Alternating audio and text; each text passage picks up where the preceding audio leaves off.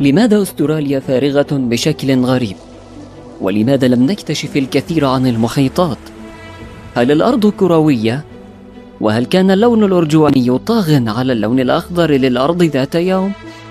أراهن أنك لا تعرف هذه الحقائق عن كوكبنا لذلك هيا نكتشفها معا أستراليا قارة ضخمة فعلا إنها تقريبا بحجم قارة أوروبا بأكملها تعتبر أستراليا موطنا لحوالي 26 مليون شخص وتعد من البلدان الأقل تعدادا للسكان.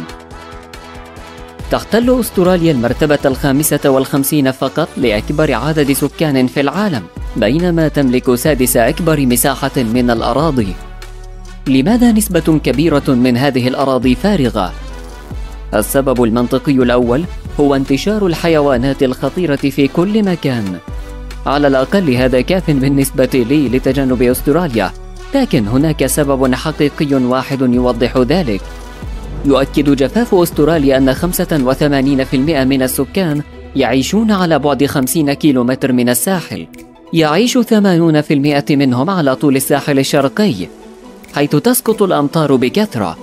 ولكن رغم النقص العام في هطول الأمطار تشكل الصحراء الغير صالحة للعيش نسبة 20% فقط من مساحة أستراليا وتعتبر 40% من الأراضي غير صالحة للسكن وفقا للمعايير البشرية. في الواقع يعتبر استهلاك المياه أعلى من متوسط هطول الأمطار كل عام. لكن يوجد مصدر آخر قديم للمياه مخفي في الأسفل والذي يمكن أن يزود الكثير من السكان بالماء. وهو أحد أكبر موارد المياه العذبة الجوفية في العالم. إنه الحوض الارتوازي الكبير. يغطي الحوض مساحة كبيرة تصل إلى مليون وسبعمائة ألف كيلومتر مربع أي خمس مساحة أستراليا يحتوي الحوض على كمية كافية من الماء لتغطية الأرض بطبقة عمقها نصف متر بمعنى آخر يمكن لهذا الحوض توفير ما يكفي من الماء للأستراليين العطش ل 1500 سنة قادمة. تبلغ نسبة الأراضي الصالحة للزراعة 6.5% فقط من مساحة أستراليا. لذا لا تبدو بأنها مساحة كبيرة. لكن أستراليا ضخمة وهذه النسبة الصغيرة بحجم فرنسا تقريبا. ومع هذه المساحة الهائلة الصالحة للزراعة تكون أستراليا قادرة على إنتاج طعام يفوق ما يحتاج إليه سكانها إضافة إلى تصدير 70% من إنتاجها من المنتجات الزراعية إلى الخارج. إذا رغم توفر الأراضي والغذاء والماء ما الذي يجعل أعداد السكان قليلة هناك؟ يرجع السبب في ذلك إلى بطء عمليات الهجرة. في البداية عاش في أستراليا فقط أشخاص قدموا من المملكة المتحدة. ثم فتحوا حدودهم أمام الأوروبيين الآخرين. وبقي هذا التقييد سار حتى 1973 قد تعتقد أن 200 عام كافية لهجرة الكثير من الناس لكن أستراليا بعيدة جدا. وهذا يعني وجود مخاطر في السفر لمسافات طويلة عدا التكاليف الباهظة للرحلة. وهذا ما جعل الأوروبيين يفضلون الهجرة للوجهات الأقرب والأرخص ككندا أو الولايات المتحدة. على مدار ألفي عام الماضية كانت هناك حقيقة مسلمة لدى البشر حول كروية الأرض. لكن هل تعلم أنها ليست كرة مثالية؟ يتغير حجم الأرض باستمرار نتيجة الدوران المتأرجح للأرض ويحدث هذا ببطء شديد طبعا. القطبان الشمالي والجنوبي مسطحان تماما وتشبه الأرض بدرجة كبيرة كرة تعرضت للسحق تخيل أن هناك كرة عملاقة تضغط بأصابعها على القطبين معا. بسبب هذا الضغط يندفع خط الاستواء إلى الخارج قليلا. وإلى جانب الجاذبية غير المتكافئة يوجد الكثير من المواقع بها خلل في الجاذبية الأرضية. فتزيد الجاذبية في بعض الأماكن وتقل في أماكن أخرى. إن قمت بقياس وزنك على طول خط الاستواء فسيكون وزنك أقل بنسبة نصف في المئة مما هو عليه عند القطبين. ليست نسبة كبيرة. وبالطبع لا يستحق الأمر الذهاب إلى هناك لتغيير وزنك. إن كنت ستقيس الطول من مركز الأرض باتجاه أبعد نقطة على الأرض فستصدم لأن جبل إيفرست ليس هو النهاية. بل تقع تلك النقطة على خط الاستواء على الجزء المدفوع إلى الخارج. يقع جبل تشيمبورازو في الإكوادور وهو أطول نقطة على الأرض لأنه الأبعد عن مركزها. ما زلنا بحاجة إلى استكشاف 80% من المحيطات ويبدو هذا جنونيا مقارنة بما استكشفه البشر من النظام الشمسي. لكن تمكنا من معرفة الكثير من الحقائق والتفاصيل الغريبة والمذهلة عن المحيطات. تشكل المحيطات أكثر من 70% من مساحة الأرض. حيث يعيش هناك 94% من الحياة البرية الموجودة على الأرض. وتنتج بعض الكائنات الحية الموجودة هناك قرابة 80% من الأكسجين الموجود في العالم والمكونة في الأساس من الطحالب والبكتيريا. يعتبر خندق ماريانا من أشهر الأماكن التي تم استكشافها ووضعها على خريطة المحيطات وهو أعمق نقطة على الأرض بعمق يصل إلى أحد عشر ألف كيلومتر أي خمسة أضعاف طول الأخدود العظيم وأعمق من طول جبل إيفرست. كما أنها موطن لواحد من أقدم قيعان البحار على وجه الأرض منذ أكثر من 180 مليون سنة. يزيد الضغط في القاع عن ألف بار ولكن رغم أن هذا يزيد ألف مرة عن الضغط العادي إلا أن الحياة لا تزال مزدهرة. يوجد في أعماق البحار والمحيطات المظلمة أكثر من ثلاثة ملايين حطام سفينة. هناك عدد هائل من القطع الأثرية التي لم يمسسها أحد ويمكن أن يكون هناك آثار أكثر مما هو في جميع متاحف العالم. تعد سلسلة التلال في حيد منتصف المحيط الأطول في العالم حيث يصل طولها إلى 65 ألف كيلومتر أي قرابة عشرة أضعاف حجم جبال الأنديز وهي أطول سلسلة جبلية على الأرض. الشمس هي السبب في لون المحيط الأزرق والأزرق المائل للخضرة. هذا اللون ليس انعكاس السماء رغم أن كلاهما بلون أزرق للسبب نفسه.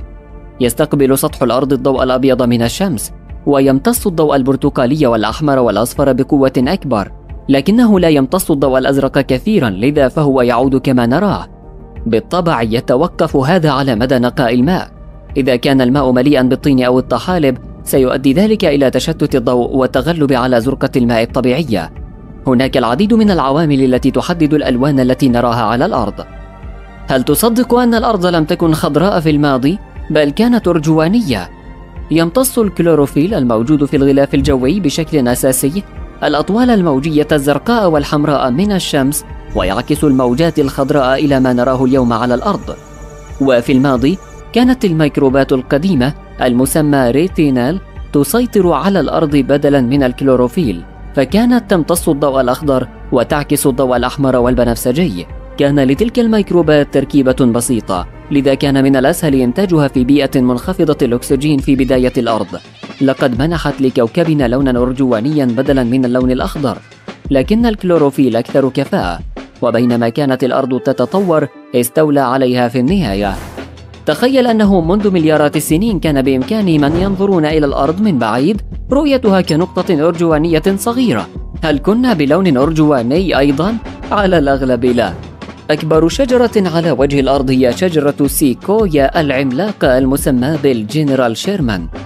يبلغ ارتفاع الشجرة حوالي 85 مترا أي بارتفاع مبنى مكون من 26 طابقا ويعتقد أن عمرها 2700 عام. ويبلغ محيطها 25 مترا. أما وزنها فهو ضخم فعلا إذ يصل إلى 1800 طن. ثقيلة جدا لكنها ليست أثقل كائن حي على الأرض. يوجد في ولاية يوتا غابة ضخمة من الأشجار اسمها باندو وهي مستعمرة واحدة من الأشجار. يربط نظام الجذور الضخم كل الأشجار معا. بعدد يصل إلى 47 ألف جذع. يبلغ وزن هذه الأشجار حوالي 6000 طن ويتجاوز عمرها 80 ألف عام مما يجعلها أقدم كائن حي يعرفه البشر. والآن ماذا عن أكبر مساحة يحتلها كائن واحد؟ ينمو قبالة سواحل أستراليا الغربية طحلب بحري إلى حجم لا يمكن تخيله.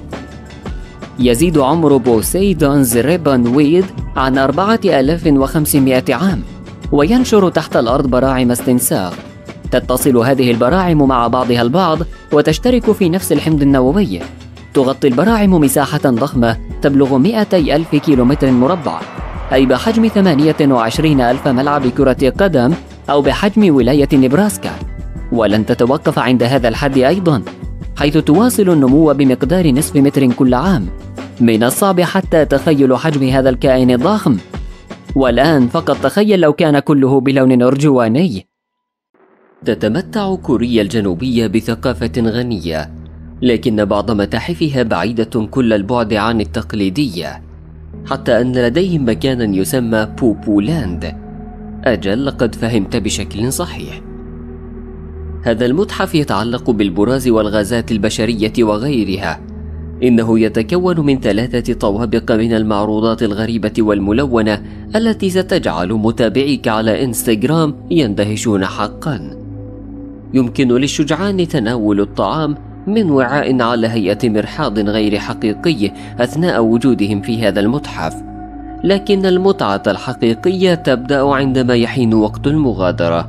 سيتعين عليك الخروج من خلال غرفة مظلمة تحاكي جهازنا الهضمي. تضم كوريا الجنوبية المبنى الأكثر سوادا الذي ستراه في حياتك. تم تغطية Vantablack Hyundai Pavilion بطلاء Vantablack وهو الأشبه بطلاء النينجا من بين جميع ألوان الطلاء. إنه أسود للغاية ويعكس أقل من واحد بالمئة من الضوء. أنشئ هذا الجناح للخلفية البيضاء النقية لدورة الألعاب الأولمبية الشتوية الثامنة عشر. يبلغ ارتفاع هذا المبنى عشرة أمتار ويبلغ طوله خمسة وثلاثين مترا. ويمتص أكثر من 99.96% من الضوء. لذا فهو بسواد ثقب الأسود تشتهر كوريا الجنوبية بثقافة المقاهي الرائعة ولا يعد ستاربكس استثناء. لدينا مثلا ستاربكس Wave سيول الذي يبدو حرفيا وكأنه يطفو على الماء. يقع هذا المكان في مركز سيول Wave للفنون. وهو مكان يمكنك فيه الاستمتاع بالمعارض الفنية. إذا شعرت أنك رأيت هذا المكان من قبل فقد يكون ذلك لأن نجوم البوب الكوري صوروا مقاطع فيديو موسيقية هناك. في عام 2011 أنشأت شركة تيسكو البريطانية متاجر بقالة افتراضية في محطات المترو ومحطات الحافلات في سيول. الأمر أشبه بالتسوق في متجر حقيقي ولكن على هاتفك. يمكن للمسافرين مسح وشراء سلع افتراضية سيتم توصيلها مباشرة إلى بابهم. تخيل أنك تدخل محطة مترو وترى جدرانا مليئة بصور الطعام والعناصر الأخرى التي يمكنك شراؤها. ما عليك سوى مسح رموز QR الخاصة باستخدام تطبيق Home Plus وفجأة ستكون أغراض البقالة في طريقها إلى منزلك. اطلب قبل الساعة الواحدة ظهرا وستصلك أغراضك في نفس اليوم. لابد أنك سمعت عن بطل المطبخ الكوري. إنني أتحدث عن الكيمتشي لكن السؤال الحقيقي أين عنصر المفاجأة؟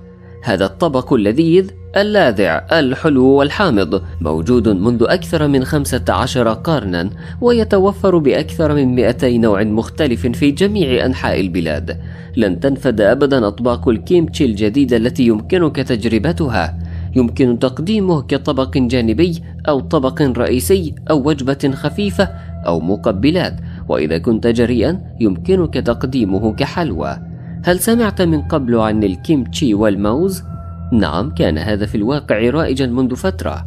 بالمناسبة يقولون أن الكيمتشي قد يتناسب تماما مع الجبن. في الواقع يمكن أن يتناسب الكيمتشي مع أي شيء تقريبا حتى أنهم ينتجون شوكولاتة بنكهة الكيمتشي في كوريا. سيول المركز النابض بالحياة في كوريا الجنوبية مزدحمة بحوالي عشرة ملايين شخص. ستجد أزقة ضيقة وشوارع مزدحمة عند كل منعطف مما يجعل المساحة الشخصية سلعة نادرة إذا كنت تتجول في المدينة فستحاول أن تتفادى المشاة على الرصيف وتحشر نفسك في عربات المترو المزدحمة وتشعر بالضيق قليلا مقارنة بالمساحات المفتوحة الواسعة في الولايات المتحدة. الكوريون الجنوبيون محترفون في مشاركة الأماكن العامة، لذلك لا تتفاجأ إذا اصطدم بك شخص ما دون اعتذار. إنه مجرد جزء من صخب وضجيج حياة المدينة وخاصة في المناطق الأكثر ازدحاما فقط تعايش مع الصخب واستمتع بالأجواء المفعمة بالحيوية في سيول في كوريا الجنوبية يعد خلع الحذاء أمرا مهما للغاية وقد ينزعج بعض السكان المحليين إذا أحدثت ضجة بشأن ذلك. ستطلب منك معظم المطاعم التقليدية خلع حذائك قبل تناول الطعام. تأكد من الانتباه إلى رف الأحذية. ومن الجيد أيضا ارتداء أحذية سهلة الارتداء والخلع مثل الصنادل. ومن فضلك أرجوك تأكد أن جواربك ليست مثقوبة فلا أحد يريد أن يرى ذلك. لا يعد إظهار الحميمية في الأماكن العامة أمرا شائعا في كوريا الجنوبية حتى في المدن العصرية مثل سيول. قد ترى زوجين يمسكان يدي بعضهما البعض أثناء التجول في الشوارع ولكن هذا هو المكان الذي تنتهي فيه عادة مظاهر الحميمية. إظهار الحميمية في الأماكن العامة يجعل الكوريين الجنوبيين يشعرون بعدم الارتياح بعض الشيء. إذا كنت سائحا فاحرص على تقليل ذلك إلى الحد الأدنى حتى في مناطق الحفلات مثل هونغ داي أو سينتشون. إليك نصيحة عند تناول الطعام خارج المنزل في كوريا الجنوبية. لا تنتظر حتى يأتي إليك طاقم الخدمة فهم لن يفعلوا ذلك. بدلا من ذلك اصرخ يوغيو لجذب انتباههم. نعم إنها تعني هنا باللغة الكورية وإذا صادفت مكانا يتسم بالخدمة الذاتية فلا تخجل من إحضار المياه وأدوات المائدة الخاصة بك. يعتمد الأمر كله على القيام بالأشياء بنفسك في بعض الأماكن لذا استعد لفعل الأشياء بنفسك.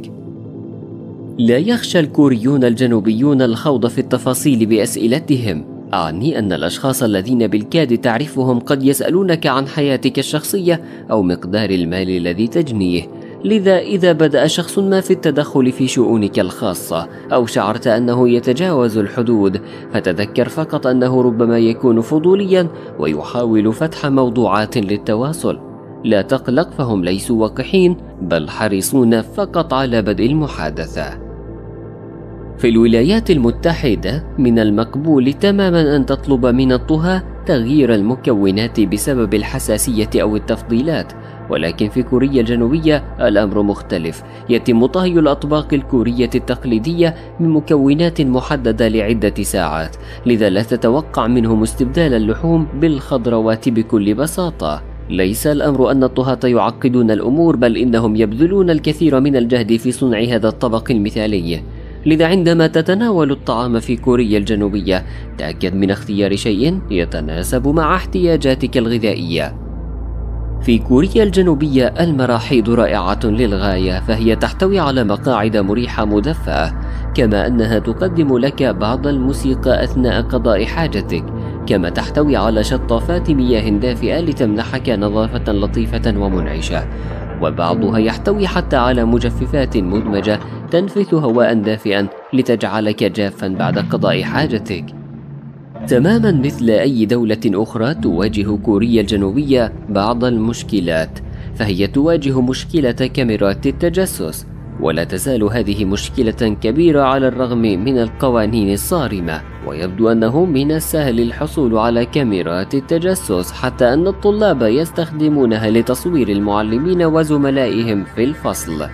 ولم تكن الجهود الرامية إلى تنظيمها ناجحة جدا حتى الآن لكن الناس يطالبون بقواعد وعقوبات أكثر صرامة. هل سبق لك أن زرت إيطاليا وشهدت المناقشات الصاخبة التي تبين لاحقا أنها مجرد محادثات ودية مع الكثير من إيماءات الذراعين؟ حسنا استعد لاكتشاف مماثل في كوريا. المحادثات الكورية مليئة بالأصوات العميقة والتعبيرات القوية والكثير من تعبيرات الصدمة. تلك السيدة في المطعم التي تبدو وكأنها على وشك الصراخ عليك؟ لا تقلق إنها متحمسة للغاية لتريك قائمة الطعام. قد يبدو الأمر غريبا بعض الشيء في البداية لكن صدقني الكوريون من أكثر الشعوب ودا الذين ستقابلهم على الإطلاق. استمتع بالإنصات للغتهم المتناغمة ودع نفسك تندمج مع الأجواء الترحيبية لهذه الثقافة النابضة بالحياة. ومع ذلك ورغم أن اللغة الكورية معبرة فلا تتفاجأ إذا كنت تستقل حافلة أو قطارا في كوريا الجنوبية. ووجدت المكان أكثر هدوءا من المكتبات. فالسكان المحليون يفضلون سماعات الرأس ويستمعون إلى أغانيهم المفضلة بدلا من الدردشة وهذا يتناقض تماما مع الغرب حيث يتبادل الجميع أطراف الحديث أو يتحدثون مع أحبائهم عبر الهاتف. لذا إذا كنت تتجول في سيول وتشعر بالحاجة إلى رفع مستوى الصوت والبدء في نقاش محتدم ففكر مرة أخرى. إن التحدث بصوت عال في وسائل النقل العام هو دليل واضح على أنك لست من هذه المنطقة. وبينما لن يأمرك أحد بالصمت صراحة توقع بعض النظرات والهمسات الرافضة من كبار السن إذا بالغت في الأمر. من الأفضل أن تستمتع بالأمر وتختلط بالناس مثل كوري جنوبي حقيقي أليس كذلك؟ مرحبا. إليك سؤال سريع. ما هي عاصمة اليابان؟ إذا قلت طوكيو فإجابتك صحيحة. طوكيو هي واحدة من أكثر المدن حداثة وتنوعا في اليابان. ولكن لأكثر من ألف عام كانت كيوتو هي العاصمة. نعم أعلم أن الاسمين متشابهين لكن في حين أن طوكيو هي العاصمة المستقبلية لليابان فإن كيوتو هي واحدة من أكثر المدن التقليدية التاريخية في اليابان التي تعرف باسم العاصمة الثقافية لليابان. هاتان صورتان الأولى من طوكيو والثانية من كيوتو. هل يمكنك معرفة الفرق الرئيسي بينهما؟ تذكر هذه الفكرة فسوف نعود إليها بعد لحظات. هاتان صورتان أخريان. الأولى من أساكوسا وهو حي في طوكيو. بينما الثانية من كيوتو. ما هو الفرق الرئيسي هنا برأيك؟ ربما يمكنك تخمين ما أعنيه إذا لم تعرف فسأخبرك. الفرق الرئيسي يكمن في الألوان. إذا سنحت لك الفرصة للسفر إلى بعض الأماكن. فربما لاحظت أن المدن لها سمات لونية معينة. مثل روما ذات اللون الطيني وباريس ذات درجات اللون الرمادي والبني الداكن. بالنظر إلى هذه الصور يمكن للمرء أن يرى أن طوكيو مضيئة وذات مظهر كهربائي وتبدو حتى فوضوية بعض الشيء. أما كيوتو فهي أحادية اللون ولها انطباع أكثر هدوءا وسلاما. من المثير للاهتمام أن نرى أن ما يسبب هذا التباين بين المدينتين له علاقة بقانون متعلق بالمناظر الطبيعية. في عام 2007 أقرت كيوتو قانونا جديدا يحظر لافتات الشوارع الملونة. كان القانون يهدف أيضا إلى توحيد التصميم العام للمباني لجعل مظهر المدينة أكثر تجانسا. نظرا لأن كيوتو كانت عاصمة اليابان لفترة طويلة من الزمن فقد بنيت باستخدام هندسة فينغ شوي المعمارية ومبادئها التقليدية. لهذا السبب تجد العديد من المباني بهذا الشكل الآسيوي التقليدي. هذا الشكل ذو السقف المنحني كما ترى في فيلم مولان. بالتأكيد هذا الطراز مختلف تماما عما يصممه المهندسون المعماريون المعاصرون. إذا نظرت إلى طوكيو فسترى ناطحات سحاب زجاجية بدلا من هذه المباني القديمة. لكن كل هذا جزء من خطة أكبر تم تنفيذها من خلال ما يسمى بإرشادات مياكو للمناظر الطبيعية. كانت الحجة الرئيسية للبلدية لتمرير القانون. هي أن كيوتو كانت تفقد مناظرها الطبيعية الفريدة بسبب النهج التحديثي في اليابان. إذا تبعت كيوتو خطى طوكيو ببناء ناطحات سحاب ضخمة فلن يتمكن المواطنون من رؤية الجبال الثلاثة المحيطة بالمدينة. ولنكن صرحاء لا أحد يريد أن يحدث ذلك. بالإضافة إلى هذا من الجيد أن تتمكن من الذهاب إلى مدن مختلفة في اليابان. وملاحظة أنها فريدة من نوعها بنمطها المميز. إذا كان قانون المناظر الطبيعية ساريا في جميع أنحاء اليابان فلن نتمكن من رؤية عجائب معمارية مثل برج طوكيو سكاي تري وشعلة مبنى شركة أساهي الشهيرة. ألق نظرة على منطقة أكيهابارا في طوكيو. تعرف هذه المنطقة بأنها واحدة من أكثر أحياء اليابان حداثة والمليئة بالتكنولوجيا المتطورة في كل زاوية. وهي مليئة أيضا باللافتات في كل مكان. وإذا قارناها بمدينة كيوتو بعد إقرار القانون الجديد فإن أول شيء يجب إزالته هو لافتات الأسطح. كما أن الأضواء الوامضة والمتحركة أصبحت غير قانونية هناك. يظهر مقهى ستاربكس في كيوتو ما أعني. إذا كنت تتجول في شوارع ريف كيوتو بحثا عن مكان لاحتساء الكابتشينو فسوف تفتقد هذا النوع من المقاهي. أعتقد أننا يمكن أن نتفق على أن شعار ستاربكس التقليدي صمم لجذب الانتباه مع ذلك المخلوق المتوج الذي يشبه حوريات البحر مع خلفية خضراء. في أماكن أخرى في اليابان لا يزال يبدو بهذا الشكل لكن في كيوتو تغيرت العلامة التجارية لاحترام القوانين الجديدة ونتج عنها هذا الشعار الخشبي الجميل. ولوحة صغيرة تقول إن هذا المكان يقدم اللاتيه. نعم بالفعل. هناك أمثلة متعددة مثل هذا. في كيوتو لن تجد في واجهات متاجر 7-Eleven الخطوط التقليدية الحمراء والبرتقالية والخضراء. تم تغيير الشعار إلى الأسود والأبيض. قد تعتقد أن هذا ممل لكنني أعتقد أنه يمكننا أن نتفق على أن نختلف. يبدو هذان اللونان مثاليين عندما تنظر إلى المكان بأكمله. أوه وماذا عن ماكدونالدز؟ أشهر سلسلة مطاعم برجر في العالم. لقد احتفظت بلون شعارها الأصفر لكنها أزالت اللون الأحمر من الخلفية. بالنسبة للألوان المسموح بها يستخدم القانون نظام ألوان مونسل لتحديد درجات اللون المقبولة. عادة في هذا النظام يتم قبول النسخة الباهتة من الألوان الصارخة مثل الأحمر والأسود والأخضر وما إلى ذلك. تخيل الآن إذا اعتمدوا ألوان المخرج ويس أندرسون ستبدو كمدينة ألعاب بلا شك. في البداية شعر البائعون وأصحاب المتاجر بالانزعاج من القانون الجديد. لم يفهموا سبب اضطرارهم إلى تغيير علاماتهم التجارية من أجل بعض المظاهر الجمالية التي تحاول المدينة الحفاظ عليها.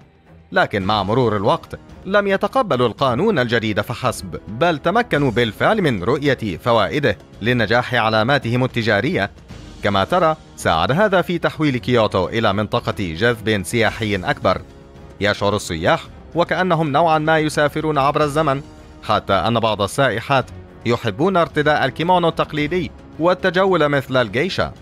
كذلك بدأت البلدية نظاما للجوائز لمكافأة المتاجر والعلامات التجارية التي التزمت بالأمر على أكمل وجه.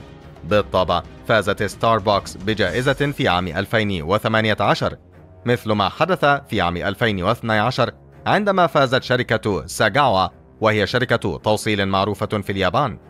لم تكن المحلات التجارية وحدها هي التي يتعين عليها التكيف مع القوانين الجديدة بل كان من الضروري أيضا تغيير ألوان بعض الأشياء مثل آلات البيع ومكاتب البريد ومرة أخرى تكمن الفكرة في جعل المدينة أكثر انسجاما من الناحية البصرية ومن المؤكد أن هذا يساعد في ذلك لكن ماذا يحدث إذا لم تلتزم بتلك القواعد؟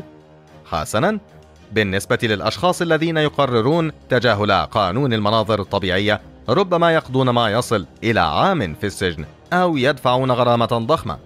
يمكننا أيضا مقارنة الاختلافات داخل كيوتو نفسها. في محيط وسط المدينة يكون قانون المناظر الطبيعية أقل صرامة. لذا ستجد مبان أطول ولافتات أكبر ذات ألوان أكثر.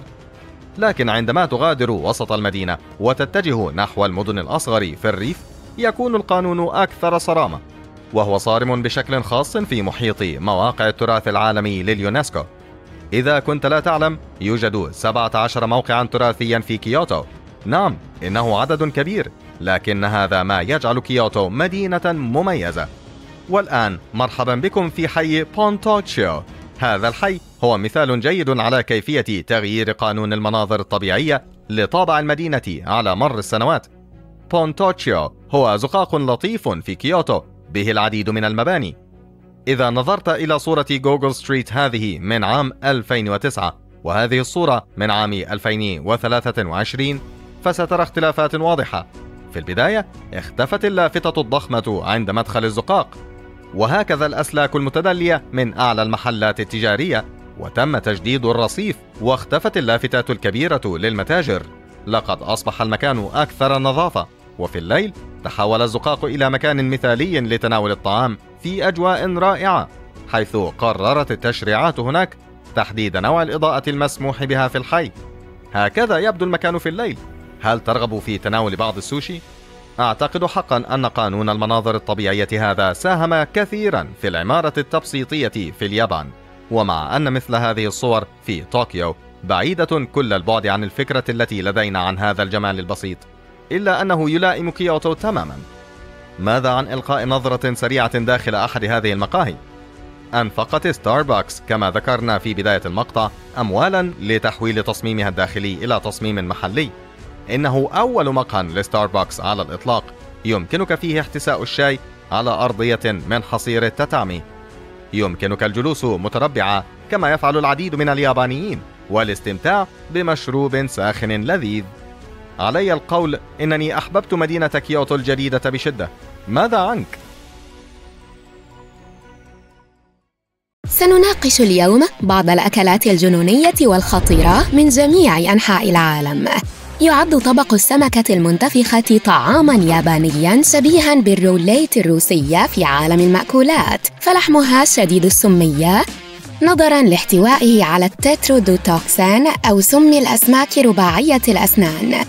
الذي يعد أكثر فتكاً وسمية من السايانايد ب 1200 مرة. لذيذ. عادة لا ينجو الناس إثر تناول لحم هذه السمكة لكن يتدرب الطهاة اليابانيين على إزالة الأجزاء السامة مقابل 200 دولار لطبق يسمى فوغو. أجل مكلف للغاية وهذا الطبق ممنوع تقريبا في الولايات المتحدة. ثمة بضعة أماكن مسموح فيها بيعه هل يمكنني قول إن الناس يموتون شوقا لتناول هذا الطبق؟ لا أستطيع؟ حاضر لن أفعل. طعام آخر ممنوع في الولايات المتحدة كازو مارتو أو الجبن الفاسد باللغة الإيطالية. إن كنت تنتوي تجربته فاذهب إلى سردينيا بإيطاليا. هذا الطبق عبارة بالأساس عن جبن حليب الأغنام. يسمح لنوع من الذباب بوضع بيضه في ذلك الجبن لمدة أربعين يوماً. يحتوي هذا الطبق على الديدان التي تتولى مهمة تفكيك الجبن. فتمنحه أم تلك التركيبة الفريدة من نوعها والمذاق الحار. يمنع تناوله في الولايات المتحدة لأسباب صحية. هو هذا واضح. على عكس الجبن الكريمي والناعم كازو مارزو يعرف التشيربي بكونه أكثر أنواع الجبن صلابة في العالم وكغيره من سائر الأجبان العادية فهو يصنع من الحليب.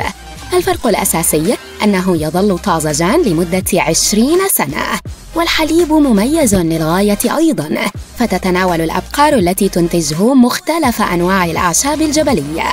ومن الجدير بالذكر أن تلك الأبقار هجينة من الأبقار وثيران القطاص الأليف المهددة بالانقراض. يتمتع الجبن الذي يصنع من هذا الحليب اللذيذ بنكهة فريدة من نوعها. تتمتع الفاكهة الجامايكية الوطنية آقيا بمذاق مميز معتدل للغاية وتركيبتها شبيهة بالزبدة والكريمة ويبدو مذاقها كالبيض المخفوق. من الآمن أكل فاكهة الآقية طالما كانت قد نضجت بالكامل. لكن احترس. فالجزء الصالح للأكل لب الثمار الكريمي الأبيض في حد ذاته. بينما اللب الوردي والحبوب السوداء فليسوا صالحين للاستهلاك.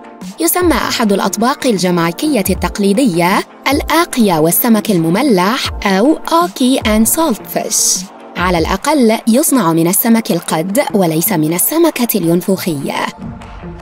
ثمار الخمان فاكهة أخرى يجب أن تنضج بنسبة 100% حتى يصبح من الآمن أكلها. هذا النوع من التوت شهير للغاية. يمكنك العثور عليه في الفطائر والمشروبات المركزة والشاي والمربى والقائمة تطول. يجب معالجة هذا النوع من التوت بالشكل الصحيح وذلك نظراً لاحتوائه على السايانايد لكن لا تقلق التوت الناضج بالكامل والمطبوخ ليس خطرا لعلها معلومة مفيدة بشكل ما. في الواقع تحتوي جميع الأنوية والبذور تقريبا على السايانايد. يحتوي الكرز المفضل لديك على هذا المكون أيضا. يكون عادة بكميات ضئيلة وليس من المرجح أن يؤذيك. لكن حاول ألا تبتلع النواة ينطبق الشيء نفسه على الخوخ والبرقوق والمشمش لا تحاول مضغ نواتهم كثيرا. إن كنت من عشاق المأكولات البحرية فربما تود تجربة القليل من طبق سان ناكجي إنه عبارة عن مجسات أخطبوط صغير ومتبل. عظيم. لكن المشكلة أنه يجب أكله حياً. يقول من سبق لهم تجربة هذا الطبق الكوري إن المجسات تظل تتحرك في الطبق ويمكن أن تلتصق بالجزء العلوي لفمك بما أنها لا تزال تتمتع بخاصية الشفط. هذا مقز أقصد مقبلات مقبلات. زيادة على ذلك إليك حقيقة ممتعة عن الطعام. ليس لأسماك قرش جرينلاند مسالك بولية وكل الفضلات التي تنتجها تصفى عبر لحمها وجلدها. لذا يعد لحمها ساما. يبدو سببا وجيها لعدم أكلها لكن ليس هذا حال آيسلندا. كلا أولا يعلقون الهاكرال وهو ما يطلق على لحم سمك القرش المعالج لمدة ثلاثة إلى خمسة أشهر. وفي النهاية تحصل على لحم أسماك مخمر برائحة الأمونيا مع تركيبة شبيهة بالهلام تذكرك بالخبز الرطب. هناك نوعان من جذور الكاسافا الاستوائية. يحتوي النوع الحلو على بعض السيانايد لكن يمكنك طبخه لخفض محتوياته السامة إلى مستوى آمن. للتخلص من جميع السموم في الكاسافا المرة يجب بشر الجذور ومن ثم نقعها في المياه وأخيراً طبخها بالشكل الصحيح حتى تصبح صالحة للأكل. هذه الجذور مليئة بالنشاء ونكهتها رقيقة للغاية. يمكن استعمال الكاسافا كاستعمالنا للبطاطس مهروسة أو مسلوقة أو مقلية. جميل. أود طبقا جانبيا من الكاسافا ولا تنسى رشة الساينايد على ذوقك. لا يبدو أن طبق راوند الحدائق يتماشى مع قائمة الأطباق الخطرة لكنه يتمتع في الواقع ببعض السلبيات. فأوراقه شديدة السمية وتحتوي على حمض الأوكزاليك ولا يجدر استعمالها فقط في الطبخ أو الخبز أو أي شيء آخر. إن أكلت واحدة فاعلم أن أقل النتائج خطورة الشعور بحروق في فمك والغثيان ومشاكل في التنفس. إن كنت تعيش في الولايات المتحدة وسنك تحت السابعة والأربعين فثمة احتمال أنك لم تجرب طبق هاجس من قبل. بما أنه ممنوع منذ نصف قرن تقريباً يصنع هذا السجق الإسكتلندي من مختلف أعضاء الغنم الداخلية. لن أذكر جميع التفاصيل ويضاف إليه دقيق الشوفان والكثير من البصل المفروم والشحم. لا تسألني أرجوك وبعض المراق. يبدو هاشا وجافا ومذاقه حار أيضا. يقدم عادة مع البطاطس المهروسة أو اللفت المهروس كطبق جانبي. عظيم. على الأقل يخلو هذا الطبق من الكاسافا المهروسة. بالمناسبة لا تعد البطاطس غير ضارة أيضا فيعتمد ذلك عما إذا كانت طازجة أم لا. فالبطاطس مليئة بالسموم وتحتوي براعم البطاطس على السولانين الذي يعد شديد السمية ينطبق الشيء نفسه على اللوز الأخضر والكاجو المليء بالسيانايد إن لم يكونا طازجين كفاية. لحسن الحظ. المكسرات التي نحصل عليها من المتاجر معالجة بشكل جيد مما يعني أنها آمنة تماما. ثمة مطعم صغير ومميز في بانكوك. ظل أصحابه يطبخون حساء اللحم البقري والمعكرونة منذ خمسين سنة. أقصد ذلك حرفياً. ظل يغلي لأكثر من أربعة عقود. لم يتخلصوا من المرق ويظل طوال الليل في المقلاة لتحضير حساء اليوم التالي. لا يغسلون المقالي للإبقاء على نكهته الفريدة. وهناك طبقة سميكة من الشحوم حول تلك المقلاة الضخمة تكونت بسبب انسكاب الحساء المغلي طوال 45 سنة. رجاء اقبلوا دعوتي. بيض القرن الصيني أو كما يطلق عليه أحيانا بيض الألف سنة ليس أصفرا ولا أبيضا بل ستجده أسودا ورماديا حينما تنزع قشرته. ومن الخارج يبدو لونه أخضرا ضاربا على البني. لتحضير هذا الطبق الصيني كل ما تحتاج إليه الشاي والجير والملح ورماد الحطب وبعض الماء لمزج جميع المكونات معا. اغمس البيض النيء في العجين ومن ثم لفه في ورق الأرز حتى لا يلتصق البيض ببعضه البعض. اتركه هكذا لمدة مئة سنة. أمزح. عشرة أيام كافية عندما يكون الجو حارا. أما بالنسبة للطقس البارد فقد يستغرق الأمر ثلاثين يوما. مهلا لا ترحل. لم تبدأ الإثارة بعد. لا تبدو فضلات الطيور طبقا شهيا. لكن في جرينلاند يمكنك العثور على طبق محلي يتكون من هذه المواد ويسمى أوروميت ويصنع من فضلات طائر ترمجان الصخر. يجمعونها في الشتاء عندما تكون جافة ويطبخونها مع زيت الفقمة ولحم الفقمة. تبدو الفضلات التي تطبخ بهذا الشكل كمذاق جبن الجورجنزولا الأزرق. أم الحساب من فضلك. والمثير للدهشة أن التونة العنيدة قد تكون خطرة للغاية. تعيش الأسماك الكبيرة حياة طويلة في المحيطات. المشكلة أن مستويات الزئبق في المحيطات قد ارتفعت بشكل حاد في العقود القليلة الماضية. فامتصتها الأسماك وصار لحمها ساماً. إن أكلت الكثير من التونة أو أي سمك محيطي آخر فثمة احتمال أن تتسمم بالزئبق. لا أقصد أنه ينبغي الامتناع عن أكلها تماماً بل يجب أن تتحكم فقط في استهلاكك الأسبوعي. أما بالنسبة لسمكة التونة في حد ذاتها فمقل أعينها طبق شهير في الصين واليابان. تحتاج مقل عيني التونة إلى الغلي قبل الأكل لحسن الحظ ويجدر إضافة بعض التوابل أيضاً. إن نجحت في ذلك ستحصل على طبق شهي مذاقه شبيه بالحبار ويحدق في وجهك أيضاً.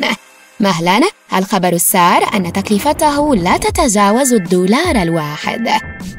تعد الفاصوليا الحمراء سامة أيضا إلى حد ما ربما لم تلاحظ أو تعرف ذلك من قبل لأننا نأكلها جميعا بعد أن تعالج بشكل جيد.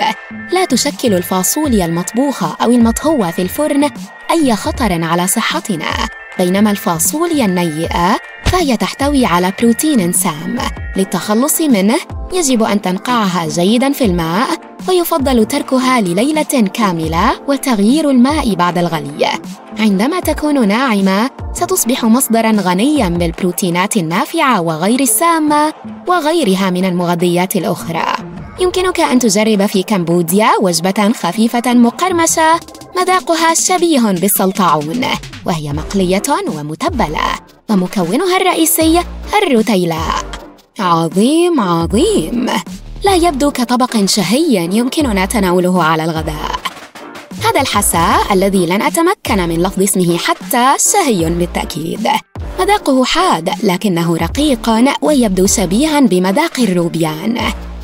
والله يبدو هذا الطبق اللاوسي التقليدي رائعا عن جد. حتى تدرك أنه مصنوع من بيض النمل لزيادة مستويات الحموضة يضيفون أيضا القليل من النمل الصغير. هذه ليست تعلية عليكم بل هذا بالضبط ما يضيفونه للشوربة المسكينة. في المكسيك لن تتخلص من الذرة التي فسدت وتحولت إلى اللون الأسود. ستحتفظ بها لتحضير طبق مميز يسمى حسنا إليك اسمه على الشاشة. تمنح الفطريات في البذور الطبق رائحة ترابية وخشبية. لذيذ هل الشعر كذلك بالجوع؟ تحتاج بعض الأطباق إلى الزينة. لا سيما الكعك والفطائر. في إنجلترا ثمة فطيرة تسمى ستار جيزي أو التحديق في النجوم. يفصح الاسم عن ماهية الطبق. يطل السردين برفقة البطاطس والبيض من الطبقة العلوية للفطيرة ويحدق في السماء. لكن عادة ما تكون الذيول موجهة نحو السماء. يعد فطر الشاي طبقا غريبا آخر دأب الناس على شربه في أوروبا الشرقية مع الحليب الرائب. إنه بالأساس شاي مخمر أسود أو أخضر. يصنع عبر إضافة مزارع من البكتيريا. لا تستهلك بل تستعمل لتخمير الشراب حتى تحلي الشاي فيصبح السكر بمثابة الخميرة. أضف العصير والتوابل أو أي ما تشاء حسب الذوق. عظيم عظيم. لقد اكتفيت من هذه الأطباق الغريبة. هو أشعر بالغثيان. إلى اللقاء الآن. يعرف معظم الناس أن الأهرامات بنيت لتصبح مقابر ضخمة للفراعنة وصممت لضمان انتقال مريح إلى الحياة الآخرة. على سبيل المثال بني الهرم الأكبر بالجيزة للفرعون خوفو لكن ما لا يعرفه معظم الناس هو أن هذا الاتجاه في بناء الأهرامات بدأ هنا مع هرم زوسر المدرج منذ حوالي 4700 عام. بني هذا الهيكل الضخم للفرعون زوسر أحد حكام الأسرة الثالثة في مصر. يرتفع الهرم ست طبقات فوق سطح الأرض ويبلغ ارتفاعه حوالي 60 متراً. إنه بمعايير اليوم مشروع معماري هائل. ولكن بالنسبة للمصريين القدماء تبين أن هرم زوسر المدرج كان أشبه بتجربة ضخمة تجريبية. إذا صح التعبير لإتقان مهاراتهم في البناء قبل الانتقال إلى أهرامات تتسم بقدر أكبر من الطموح. الوصول إلى ارتفاعات جديدة أمر مثير جدا لكن اللغز الحقيقي هو ما يحدث تحت الأرض. ففي متاهة هذا الهرم تحت الأرض توجد شبكة من الأنفاق تمتد بطول خمسة كيلومترات ونصف. ويعتقد بعض الباحثين أن هذه الأنفاق ربما كانت جزءا من نظام مائي متطور يمكن أن يغير تماما ما نعرفه عن بناء الأهرامات. دعونا نتحدث عن هذا المجمع الضخم الواقع في سكارة يحيط بالهرم ما يسمى بالخندق المائي الجاف وهو خندق متصل يصل عرضه إلى خمسين مترا ويبلغ طوله ثلاثة كيلومترات تقريبا. يشكل شكلا مستطيلا حول الهرم. يبلغ متوسط عمق هذا الخندق حوالي عشرين مترا. الآن إذا جمعت كل التربة والصخور التي حفروها لإنشاء هذا الخندق المائي فسيكون حجمها حوالي عشرة أضعاف حجم الهرم المدرج نفسه. لزمن طويل افترض الناس أن هذا الخندق لم يكن أكثر من محجر ضخم أي مكان حفروا فيه الحجارة والطين لبناء الهرم المدرج. يبدو الأمر منطقيا أليس كذلك؟ ولكن عندما تنظر نظرة فاحصة لن تجد الأمر منطقيا. الخندق ضيق وعميق للغاية بحيث لا يكون عمليا للتعدين. وتخطيطه لا يتطابق مع أي شيء نعرفه عن أساليب استخراج الأحجار في مصر القديمة. بالإضافة إلى ذلك فإن بعض أقسام الخندق مغطاة بالفعل بسقف صخري مما يجعل استخدامه كمحجر مستحيلا تقريبا. تشير نظرية أخرى إلى أن الخندق المائي الجاف كان له نوع من الأهمية الروحية. ربما كان مكانا مقدسا حيث تجمعت أرواح النبلاء لخدمة الملك الراحل في الحياة الآخرة. حتى أن هناك منافذ في الجدران تدل على هذه الوظيفة الروحية للمكان لكن معظم الباحثين يعتقدون أن هذا الغرض قد تطور على الأرجح في وقت لاحق بعد فترة طويلة من بناء المجمع للملك زوسر إذا ما الغرض الحقيقي من الخندق المائي؟ في عام 2020 توصل أحد الباحثين إلى فكرة مثيرة للاهتمام من الممكن أن يكون هذا الخندق مصمما في الواقع لجمع المياه والتحكم بها وخاصة بعد هطول الأمطار الغزيرة. الآن هذا منطقي عندما تفكر في الموقع. يقع الخندق في منطقة كان من الممكن أن تغمرها مياه الجريان السطحي من السهول القريبة بسهولة. وهذا يمكن أن يفسر أيضا سبب عدم استخدام الخندق لصنع مقابر جديدة حتى وقت لاحق عندما أصبح المناخ أكثر جفافا وأقل عرضة للفيضانات. تصبح التفاصيل أكثر إثارة للاهتمام حيث يبدو أن هذا الخندق جزء من نظام هيدروليكي أكبر وأكثر تعقيدا داخل مجمع زوسر. يبدو الأمر كما لو أن الخندق يحتوي على عدة حجرات محفورة بعناية في الصخر ومتصلة بأنفاق. من المحتمل أن تكون هذه الحجرات بمثابة جزء من نظام معالجة المياه حيث تتدفق المياه من حجرة إلى أخرى وتصبح أكثر نظافة مع تحركها. الآن عند هذه النقطة تبدأ الأمور في الارتباط بالهرم نفسه يحتوي مجمع زوسر على سلسلة من الأعمدة تحت الأرض. ويعتقد بعض الباحثين أن الماء من الخندق المائي العميق ربما استخدم لتشغيل نظام رفع هيدروليكي وكان من الممكن استخدام هذا المصعد العملاق الذي يعمل بالماء لرفع الأحجار الثقيلة اللازمة لبناء الهرم.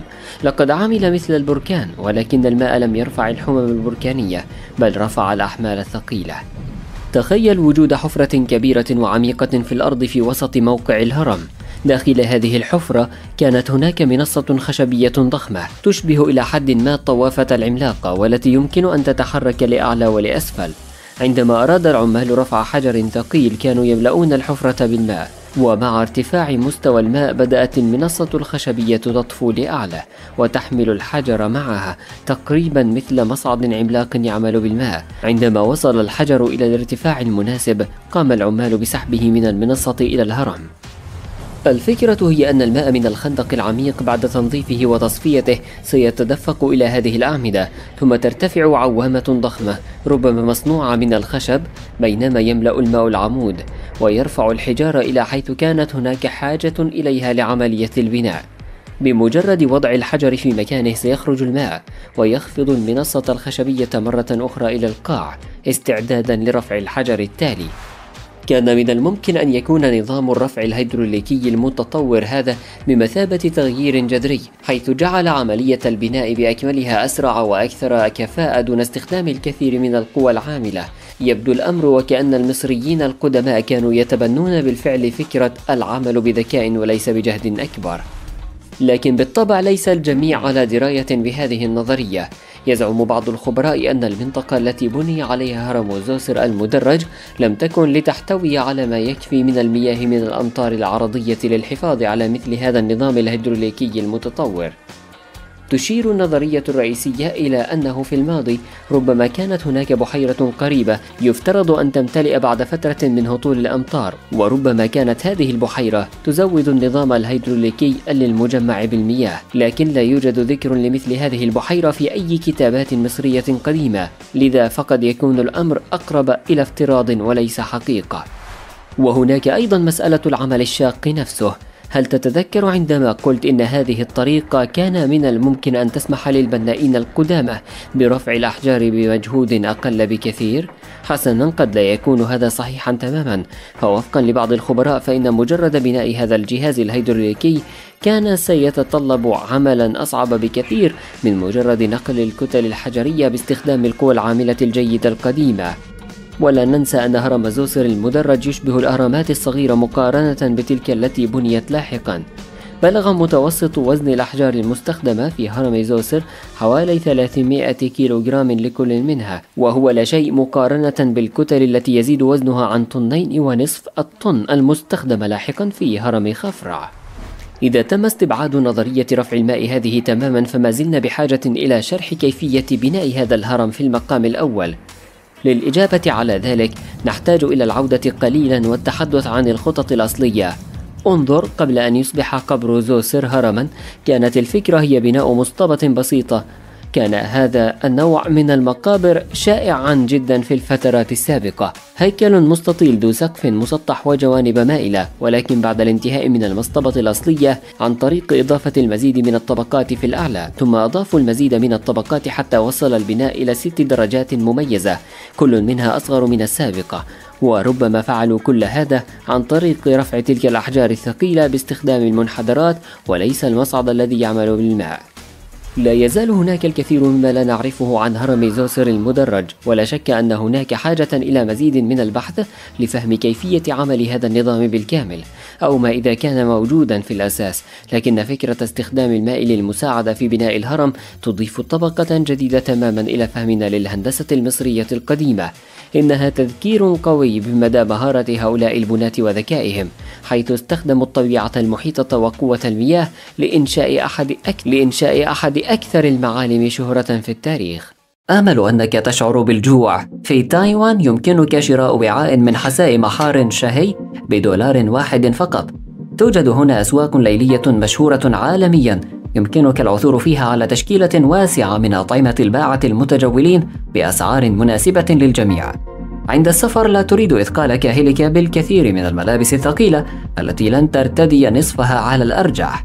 وفر بعض المساحة واستعمل خدمة مغاسل الملابس. يمكنك غسل حوالي نصف كيلوغرام من الملابس بدولار واحد في ماليزيا. أوه كدت أنسى يمكنك شراء وجبة إفطار محلية لذيذة بنفس السعر أيضاً. إن زرت جزر البحر الكاريبي ورغبت بشراء كوز ذرة مشوي فستدفع دولارا واحدا أيضا هل من الممكن شراء عشر بيضات بدولار واحد؟ هذا ممكن في ماليزيا يا ترى ما سبب بيعهم البيض في مجموعات من عشر حبات؟ أي خيار ستختار في فيتنام؟ كوبان لذيذان من القهوة المحلية أو خمس جرائد محلية أو تأمين لعام كامل على دراجتك النارية أو غسل شعرك أو أربع لفات لذيذة الخيار الأخير طبعا إن سافرت إلى إندونيسيا بميزانية محدودة فيمكنك الحصول على وجبة كاملة مكونة من عصيدة الدجاج وكرات اللحم ونودلز الدجاج وإن كنت تريد العودة إلى فندقك فسيكلفك تاكسي الدراجة النارية دولارا واحدا تقريبا إن كانت الرحلة قصيرة. في بانكوك عاصمة تايلاند يوجد قارب طويل يقل الركاب من ضفة نهر عريض إلى الضفة المقابلة. ومقابل دولار واحد يمكنك ركوبه ست مرات ذهابا وإيابا ذهابا وإيابا. هل قدماك منتفختان بعد الرحلة الجوية الطويلة؟ أهدي نفسك تدليكا للقدمين لمدة 30 دقيقة في الفلبين ولن يكلفك ذلك سوى دولار أيضا.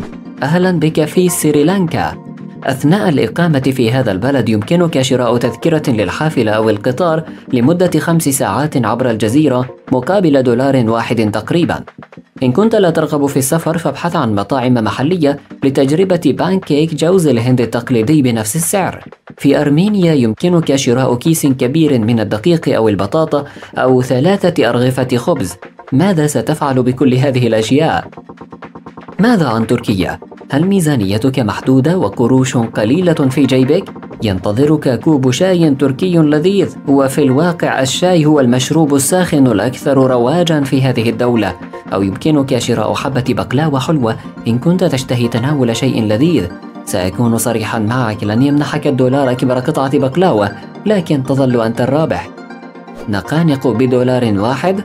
هذا صحيح يمكنك شراء النقانق بهذا السعر في شوارع مقدونيا. لننتقل إلى كرواتيا. يمكنك شراء تذكرة لإحدى وسائل النقل العام أو جريدة محلية أو آيس كريم لذيذ. أو نسيت أو كوبا كابوتشينو في مقهى محلي. وبالحديث عن القهوة الجيدة نعم إيطاليا. هل تحتاج إلى قهوة اسبريسو لإيقاظك بعد الاحتفال طوال الليل؟ لا مشكلة ابحث عن أماكن لا يقصدها السياح كثيرا واشتريها بدولار واحد فقط. وإن كنت في روما لرؤية معالم سياحية مشهورة فمن المؤكد أنك سترغب في التقاط بضعة صور في الكولوسيوم. هذا المعلم مجاني في الواقع لكن هناك ممثلون محليون يرتدون أزياء مصارعين قدماء. ومن المتعارف عليه تقديم دولار واحد على الأقل كبقشيش لهم. لا ترغب بفعل ذلك؟ إذا اشتري قارورتي ماء بنفس السعر. لكن لحظة لحظة لحظة لم ننتهي من إيطاليا بعد. لماذا لا تتمادى قليلا وتنفق دولارا آخر؟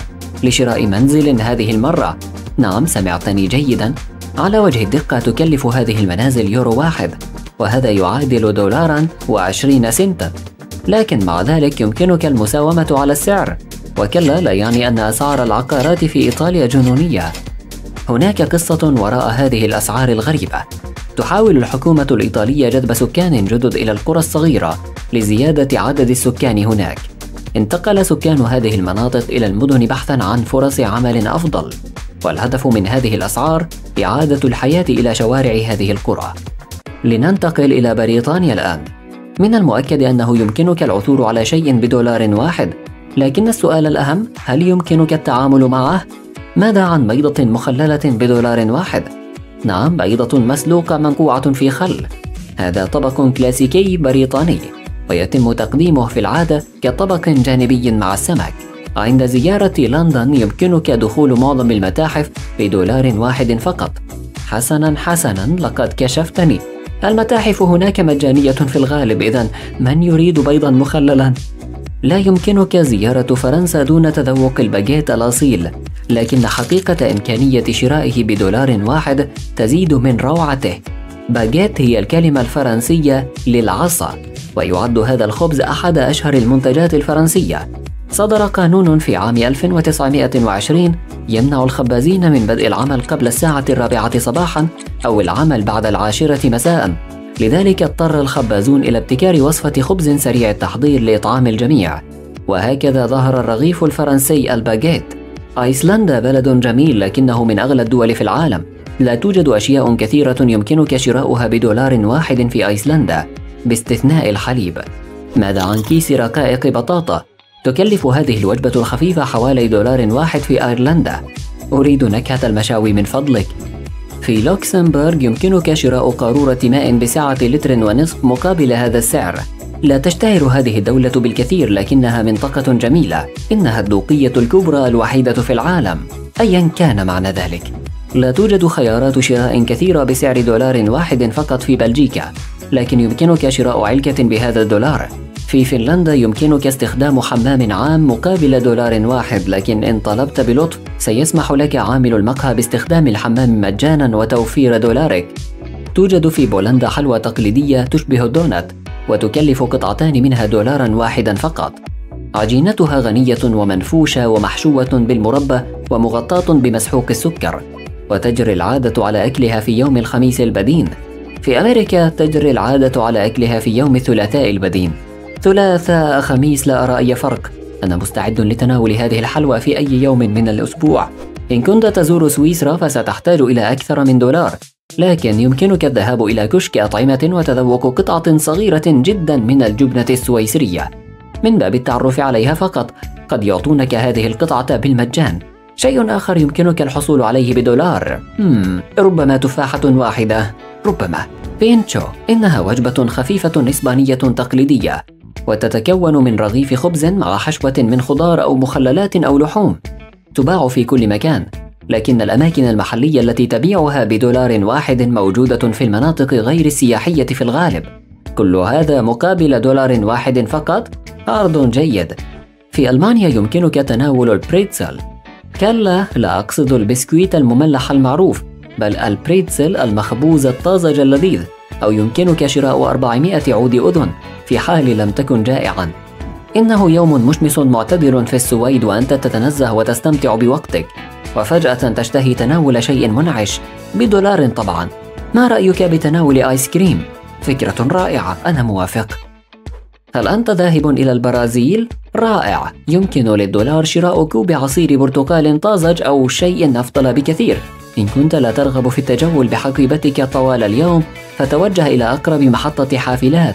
هناك خزائن يمكنك ترك أغراضك فيها والتوجه إلى الشاطئ مباشرة. حان وقت التوجه إلى كولومبيا. في العاصمة بوغوتا يمكنك شراء كوب قهوة مع قطعتين من البسكويت أو الأريبا وهو طبق ذرة تقليدي يأتي بنكهات مختلفة. ثم المزيد من القهوة إن كنت تتجول في مدينة نيويورك قد تتمكن من العثور على شريحة بيتزا لذيذة بهذا السعر لكن قد يستغرق العثور عليها بعض الوقت هل إطارات سيارتك أو دراجتك مثقوبة؟ حسناً دولار هو سعر استخدام مضخة الهواء هل تحتاج إلى خيط أو أزرار أو بالونات أو غرض عشوائي آخر؟ اذهب إلى متجر التسعة والتسعين سنتا في كندا يمكنك شراء خس وفي كوستاريكا يمكنك شراء ثمرة بطيخ أو بابايا أو أناناس كاملة وفي تنزانيا عجة بطاطا لذيذة. تعرف على هولو مالي المعروفة أيضا باسم مدينة الأمل. هذا اللقب منطقي تماما نظرا لأن هذه الجزيرة الاصطناعية جزء من خطة جزر المالديف الكبيرة لتجنب الغرق بالكامل في المستقبل القريب. تم إنشاء هولو مالي عن طريق وضع الرمال من قاع البحر على منصة مرجانية مغمورة وقد نجحت. تقع هذه المدينة على ارتفاع حوالي 1.8 متر فوق مستوى سطح البحر مما يعني أنها ضعف ارتفاع عاصمة جزر المالديف مالي. وبينما ينتقل المزيد والمزيد من الناس إلى هناك للعيش فقد تم تصميم الجزيرة أيضا لتكون بمثابة موقع إخلاء مؤقت أثناء العواصف والأعاصير الخطيرة. سيشل هي جوهرة أخرى في المحيط الهندي معرضة لخطر الانقراض. ولسوء الحظ أصبحت الفيضانات الساحلية مشكلة شائعة هناك خاصة أثناء المد الربيعي والأمطار الغزيرة. المشكلة هي أن جزيرتهم الرئيسية ماهي تستضيف حوالي 90% من سكان البلاد. يرتفع الساحل حوالي 1.8 متر فقط فوق مستوى سطح البحر. تعد فيجي الجنة الاستوائية الثالثة في قائمتنا وهي أيضا الاختيار الأفضل للمسافرين. لكن هذه الأمة في موقف صعب لأنها تقع في وسط المحيط الهادئ حيث يمكن للعواصف الضخمة أن تحول الأمور إلى فوضى. لنأخذ إعصار وينستون على سبيل المثال فقد ضرب فيجي مرة أخرى في عام 2016 وانتهى الأمر بتكلفتها أكثر من مليار دولار من الأضرار. لذا فإن الشيء الوحيد الذي يفعلونه لحماية أنفسهم هو زراعة أشجار المانغروف على طول السواحل والحفاظ على الأشجار الموجودة بالفعل. هذه الأشجار رائعة لأنها تساعد على تقليل سرعة الرياح أثناء حالة طوارئ الأعاصير وأيضا مكافحة التآكل عن طريق محاصرة الرواسب. قد تكون مصر في ورطة أيضا. أعني أن البلاد بأكملها لن تغرق تحت الماء. ولن نرى سوى قمم الأهرامات في غضون سنوات قليلة لكن الأمور يمكن أن تتغير حقا بالنسبة لهم حيث تواجه المدن الساحلية خطرا جسيما. خذ الإسكندرية على سبيل المثال ويعيش 45% من سكانها بالفعل تحت مستوى سطح البحر. إذا غمرت المياه المدينة فلن يضطر الجميع إلى الرحيل فحسب بل ستعاني مصر بشكل عام من تأثير كبير على إنتاجها السمكي. وفي أوروبا توجد إحدى أكثر المناطق السكانية المعرضة للخطر في هولندا حيث يعيش حوالي نصف السكان في مناطق تحت مستوى سطح البحر. في المستقبل قد يصبح التخطيط للفتة رومانسية مع ظهور التوليب لصديقتك مهمة مستحيلة. هولندا مسؤولة عن ثلثي إنتاج التوليب في العالم. لذلك إذا استحوذت المياه المالحة على الحقول فستنتهي اللعبة بالنسبة للأزهار. ولكن الخبر السار هو أن الهولنديين لديهم قرون من الخبرة في التعامل مع المياه. لذا فإن معركة كيفية التعامل مع حواجز العواصف والجدران البحرية يمكن أن تمنعهم من سيناريو يوم القيامة. ربما لا تكون مخاطر ارتفاع منسوب سطح البحر أعلى في أي مكان آخر غير هنا في توفالو. من الممكن أن تكون سلسلة الجزر هذه التي تقع في منتصف الطريق بين أستراليا وهاواي أول ولاية تصبح غير صالحة للسكن. ترتفع أراضيها المذهلة عن سطح البحر بحوالي 2.7 متر فقط وفقط من خلال النظر إليها على الخريطة يمكنك أن ترى مدى ضيقها. في الواقع يبلغ عرض الجزء الأضيق في فونجا فالي حوالي 19 مترا فقط. لذلك حتى قبل أن يصبح ارتفاع المد والجزر مشكلة حقيقية يمكن أن تغمر الأراضي الزراعية المحدودة في البلاد بالمياه المالحة. الدولة التالية في قائمتنا هي الفلبين. يتمتع هذا الأرخبيل الواقع في جنوب شرق آسيا ببعض أجمل المناظر الطبيعية لكنه يواجه خطر الفيضانات لسببين. أولا بسبب ارتفاع منسوب مياه البحر وثانيا بسبب الطقس المجنون الذي لا يمكن التنبؤ به. منذ عام 1990 كلفت أحداث مثل الأعاصير والزلازل وموجات التسونامي البلاد أكثر من 20 مليار دولار. هل سمعت من قبل عن فانواتو؟ من الممكن أن تغمر المياه هذه السلسلة من الجزر الممتدة بين أستراليا وفيجي قريباً. كانت فانواتو واحدة من أوائل دول المحيط الهادئ التي قامت بنقل مجتمع بأكمله إلى مكان أكثر أماناً. بالعودة إلى عام 2005 انتقل السكان الذين يعيشون في المناطق الساحلية المحفوفة بالمخاطر في جزيرة تيغوا الشمالية إلى مناطق مرتفعة. بعد ذلك جزر مارشال وهي دولة تقع في وسط المحيط الهادئ. تشير الدراسات إلى أن 40% من المباني في العاصمة ماغورو قد ينتهي بها الأمر تحت الماء في المستقبل. لكن هذا البلد لم يستسلم بعد. لقد حصلوا على خطة ويقومون بتحصين البنية التحتية لمطارها المنخفض ونقل المباني الرئيسية إلى أراضٍ مرتفعة وإقامة جدران بحرية على الجزر الريفية. باتجاه الجنوب لدينا ناورو. إنها في الواقع واحدة من أصغر الدول في العالم حيث تغطي مساحة 21 كيلومترا مربعا فقط. اليوم يسكنها عشرة آلاف شخص لكنها على وشك أن تصبح غير صالحة للسكن. وترتفع مستويات المياه هناك بمعدل أسرع بثلاث مرات من المتوسط العالمي. تثير بحيرة بوادا قلقا خاصا لأنها المصدر السطحي الوحيد للمياه العذبة وتقع على ارتفاع خمسة أمتار فقط فوق مستوى سطح البحر. محطتنا التالية في المحيط الهادئ هي جمهورية بالاو. كما أن ارتفاع مستويات سطح البحر ليس مزحة بالنسبة لهم لكن حماية محاصيلهم وخاصة القلقاس تشكل أولوية في هذه اللحظة. في منتصف الطريق تقريبا بين هاواي ونيوزيلندا تقع ساموا وهذا البلد يتعامل مع وضع فريد من نوعه. لا يقتصر الأمر على زيادة حجم المياه هناك فحسب بل تغرق أراضيهم أيضا. كما ترون ضرب زلزالان قويان وأمواج تسونامي ساموا في 2009 أوه! لذلك عندما ترتد القشرة إلى موضعها الأصلي فإن سطح الأرض الإجمالي ينخفض فعليا. ولهذا السبب فإن مساكنهم والبنية التحتية الرئيسية يمكن أن تتعرض لضربة خطيرة خاصة وأن جميع مطاراتهم تقع على طول الساحل.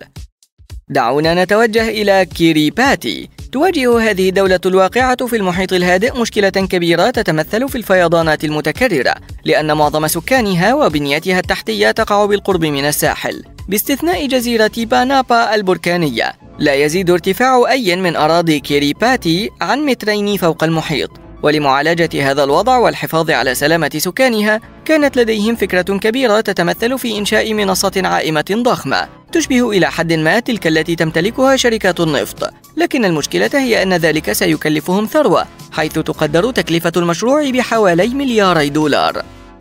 إذا كانت زيارة فيتنام مدرجة في قائمة أمنياتك فمن الأفضل أن تسرع. تتضمن أهم عشرة أشياء يمكنك القيام بها هناك في الغالب الإبحار إلى مواقع مذهلة مثل خليج هالونغ المعروف أيضا باسم خليج التنانين المنحدرة. ولكن بحلول 2050 قد تكون الأرض المحيطة هناك تحت الماء.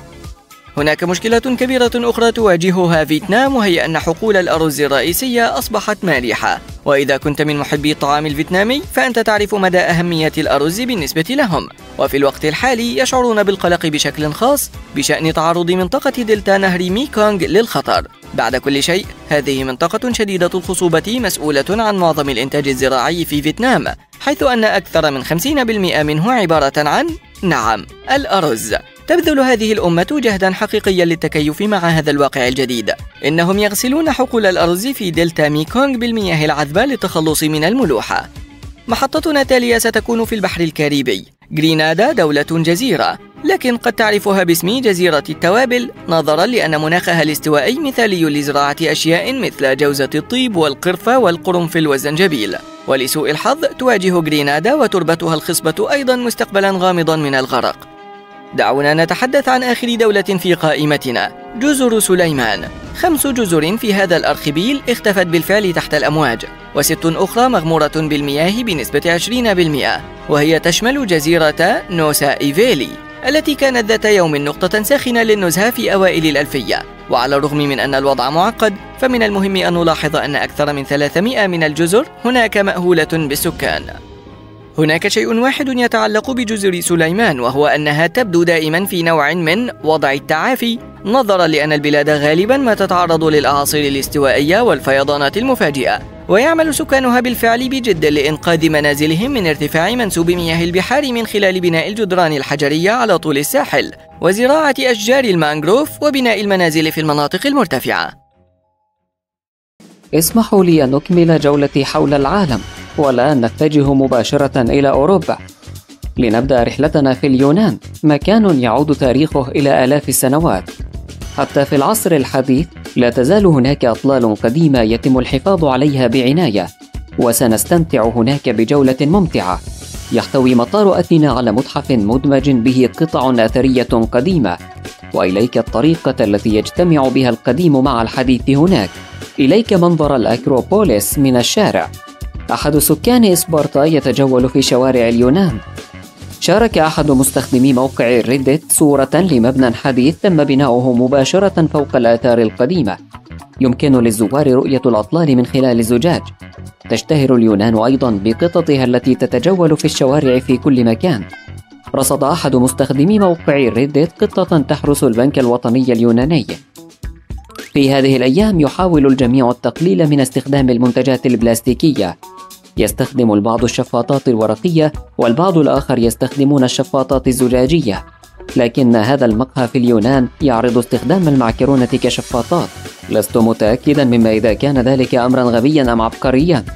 ذهب مستخدم آخر إلى مطعم في شمال مقدونيا وشعر بالحيرة عندما قدموا له شرائح البيتزا فوق فطائر الوافل. لقد ضربوا عصفورين بحجر واحد وجبة خفيفة ولا توجد نفايات. في رومانيا يبدو أن ماكينات البيع الذاتي شيء مهم. هذه على سبيل المثال آلة تبيع اللحم وإليك أفضلها. آلة بيع تبيع علب البيض. ربما البيض المخفوق أوروبا مكان يتسم فيه الجيران القدامى بالحداثة وهذا المزيج ساحر. سأريك. شارك أحد مستخدمي موقع ريديت صورة لملعب كرة سلة حديث محصور بين جدران عمرها 700 عام في كرواتيا. وهذه صورة من داخل إحدى محلات البقالة. انظر إلى هذه الأعمدة القديمة. تتطلب المشكلات الحديثة حلولا حديثة أيضا. تضيء إشارات المرور هذه الأرض حتى يتمكن الأشخاص الذين يحملون هواتفهم من ملاحظة تغير الضوء. تعد إيطاليا بمثابة تحفة فنية يعود تاريخها إلى آلاف السنوات. لدي لك مجموعة كبيرة من الأشياء من هذا البلد. يعود تاريخ بعض الآثار إلى آلاف السنوات ويتم الحفاظ على الكثير منها. شارك أحد مستخدمي موقع Reddit صورة لوبي فندق بأرضية زجاجية لذا يمكن رؤية أطلال قديمة من خلالها. انظر إلى صورة هذا الدربزين على موقع Airbnb حتى لافتات الشوارع بمثابة تحفة فنية في إيطاليا. انظر إلى هذا. شارك أحد مستخدمي موقع Reddit المزيد من التصميمات. أظهر هذا المستخدم صورة لسوبر ماركت يقع في مسرح قديم في البندقية. أضاف مستخدم آخر صورة أخرى لهذا السوبر ماركت نظرا لأننا نتحدث عن متاجر السوبر ماركت فمن الواضح أنه يسمح بالحيوانات الأليفة هناك حتى أن هناك عربات خاصة لحملها. يعود عمر المدن إلى قرون وهناك عدد غير قليل من الشوارع الضيقة لذلك يتعين تعديل المركبات الحديثة لتلائمها. هذه واحدة منها. بعض المدن لديها قنوات أو تقع على جزر لذا فإن القوارب شيء مهم. هذا قارب UPS في جزيرة مورانو. هناك الكثير من الدول في قارة أوروبا. تقع مدينة بازل في سويسرا على الحدود مع فرنسا وألمانيا. لذلك يوجد بالمطار ثلاثة مخارج يمكنك الخروج منه إلى فرنسا أو ألمانيا أو سويسرا. دعونا نخرج في ألمانيا. انظر هناك إشارة مرور مع فتاة تتمشى مع جمل. يبدو هذا لغزا بالنسبة لي لأن الجمال ليست شيئا مألوفا في ألمانيا لكنها لطيفة. إليكم مصباح شوارع فريد آخر يظهر فيه كارل ماركس الفيلسوف الألماني الشهير. بالعودة إلى آلات البيع المحيرة في ألمانيا يمكنك العثور على آلات بيع النقانق. هامبورغ هي المدينة الساحلية الرئيسية في ألمانيا. هناك نهر يربطها ببحر الشمال. لا عجب أن هناك ماكدونالدز للقوارب. انظر إلى هذا التصميم لزجاجات المياه المعدنية التي تباع في جبال الألب السويسرية. أحضر أحد مستخدمي موقع Reddit هدية تذكارية من فرنسا. هذه أقلام على شكل خبز الباجيت. انظر إلى هذا المنزل الضيق في إسبانيا. أتساءل كيف يبدو الأمر من الداخل. لكن لسوء الحظ شارك المستخدم المظهر الخارجي فقط. في البرتغال تتنكر أبراج الهواتف المحمولة في شكل أشجار. وهذه حافلة يمكنها السير على الطرق ثم تتحول إلى قارب. رصد أحد مستخدمي موقع ريدت أبوابا في لندن بها مقابض أبواب في المنتصف. يبدو هذا غير مريح للغاية ولكن من الواضح أن المقبض لا يدور وأنه موجود فقط لسحب الباب لإغلاقه. والجزء المعدني مع ثقب المفتاح له مقبض صغير في الجزء السفلي منه. أوروبا مكان تاريخي. صندوق البريد هذا يحمل علامة ملك حكم منذ أكثر من قرن. بالعودة إلى الحاضر كان الطلب مرتفعا على صناديق الهاتف الحمراء. الآن عندما يكون لدى كل شخص هاتف خلوي أو اثنين لم يعد الطلب عليها كثيرا. لذلك يتم استخدام صناديق الهاتف بطرق مختلفة. هذا على سبيل المثال أصبح الآن ورشة لتصليح الهواتف الذكية. لوكسمبورغ بلد صغير لكنه غني ويقع بين فرنسا وألمانيا وبلجيكا. لديهم هناك آلات تبيع خبز الباجيت الفرنسي. دعونا ننتقل شمالا. أولا إلى هولندا. يحيط المزارعون حقولهم بشريط من الزهور ويضعون لافتة بها رمز الاستجابة السريعة حيث يمكن للناس الدفع مقابل قطف زهور. وها هو مجرد مرفق غريب رصده بعض مستخدمي موقع ال Reddit في الدنمارك في آرهوس وهي مدينة أسسها الفايكنج في القرن الثامن يمكنك العثور على إشارات مرور عليها صور الفايكنج. تحتوي بعض صناديق القمامة في قطارات الأنفاق السويدية على مساحة منفصلة للعبوات المعدنية. يمكن للمشردين جمعها واستبدالها ببعض النقود. هناك تمثال ضخم لحيوان موض في الضيف النرويج وهذه لافتات على أكشاك الحمام تصور حيوانات الرنة. من الواضح أن الشعب الفنلندي مهذب مثل الكنديين. في الحافلة لديهم زر لشكر سائق الحافلة. أيضا اكتشف أحد مستخدمي موقع الريديت نمط الراكون على مقعد الحافلة. كلنا نعرف الخيول الهزازة. ربما كان لدى معظمكم مثلها في أيام الطفولة. حسنا يمتلك الصغار الفنلنديون حيوان الأيل المتأرجح. يأتي الكثير من الناس إلى أيسلندا على أمل رؤية الشفق القطبي الشمالي. كان لدى أحد مستخدمي موقع ال Reddit هاتف في الفندق يحتوي على زر خاص لإيقاظ النزيل عند ظهور الأضواء الشمالية. يضع الليتوانيون أحيانا سيارات شرطة مزيفة على جانبي الطريق لمكافحة السرعة على الطريق. حكم الملوك والملكات أوروبا لعدة قرون حتى اليوم العديد من البلدان لديها ملوك مثل المملكة المتحدة وهولندا وإسبانيا والدنمارك وبلجيكا وبعض البلدان الأخرى. لذلك لا عجب أن هناك مئات القلاع منتشرة في جميع أنحاء أوروبا. لا يوجد في بولندا أي ملوك هذه الأيام ولكن لا يزال لديها 500 قلعة. هذه علامة تحذير للأشباح بجوار أحدهم. في فروتسواف تحتوي جميع المعالم على نموذج بحيث يمكن لذوي الإعاقات البصرية لمسها ورؤيتها أيضا. يوجد أيضا تمثال لدارث فيدر في إحدى المدن البولندية. في الواقع إنه تمثال لرجل بولندي شهير أشرف على بناء ميناء ولكن من وقت لآخر يرتدي السكان المحليون التمثال في زي اللورد فيدر. هذه العلامة في بولندا تحظر على وجه التحديد استخدام الدراجات والجرارات والخيول على طريق سريع. في بعض الأماكن يوجد خط منفصل على الرصيف للأشخاص الذين يمشون ويحدقون في هواتفهم. والآن نسافر عبر المحيط الأطلسي إلى إفريقيا. هذا هو الكثيب السابع في ناميبيا سابع أكبر الكثبان الرملية في العالم. إنه بارتفاع مبنى إمباير ستيت شارك مستخدم الإنترنت هذه الصورة. قام شخص ما في تنزانيا بوضع منزل بنت هاوس حرفيا فوق المبنى. لقد بحثت قليلا ووجدت أنه فندق. ما زلت لا أجد تفسيرا للسقف لكنني أصدق أن هذا حقيقي. ربما هذه طريقة دعائية. يجب على السائقين في موزمبيق توخي الحذر والاحتراس من الأفيال. وهذه لافتة من جنوب إفريقيا. احترس من طيور البطريق. لم تعد الأشجار التي تنمو عبر الطرق مفاجئة لكن هذه نخلة في المغرب تنمو عابرة عدة شرفات. قدم فندق في تركيا قرص عسل كامل على الإفطار إلى أحد مستخدمي موقع Reddit في الهند يفضل البعض تناول كاري الحمص والطماطم اللذيذ على الإفطار إلى جانب البوري وهو خبز مرقوق مقلي حاول أن تقول اسمه ووصفه بسرعة. المهم هذا الخبز أجوف في المنتصف وينتفخ بالبخار عند تسخينه. يتناول بعض سكان جنوب أفريقيا بوتو باب لوجبة الإفطار وهو نوع من دقيق الشوفان لكنه مصنوع من الذرة والماء. يمكن تناول هذا الطبق في أي وقت من اليوم لكن عند تناوله على الإفطار يضاف إليه الحليب والسكر. لا تشبه القهوة السنغالية قرينتها الأمريكية.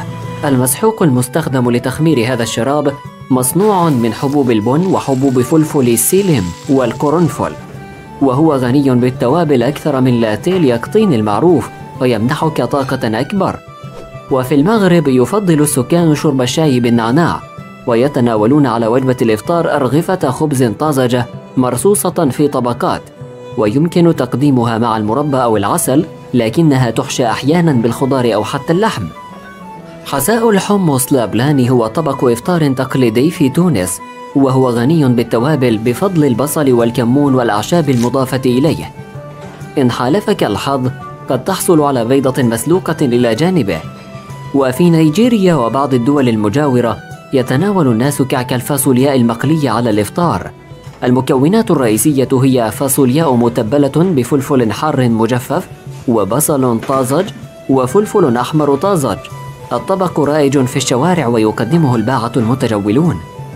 وجبات الإفطار الكورية مشبعة جدا في العادة وذلك لأنها تتكون من العديد من البانشان وهي عبارة عن أطباق جانبية.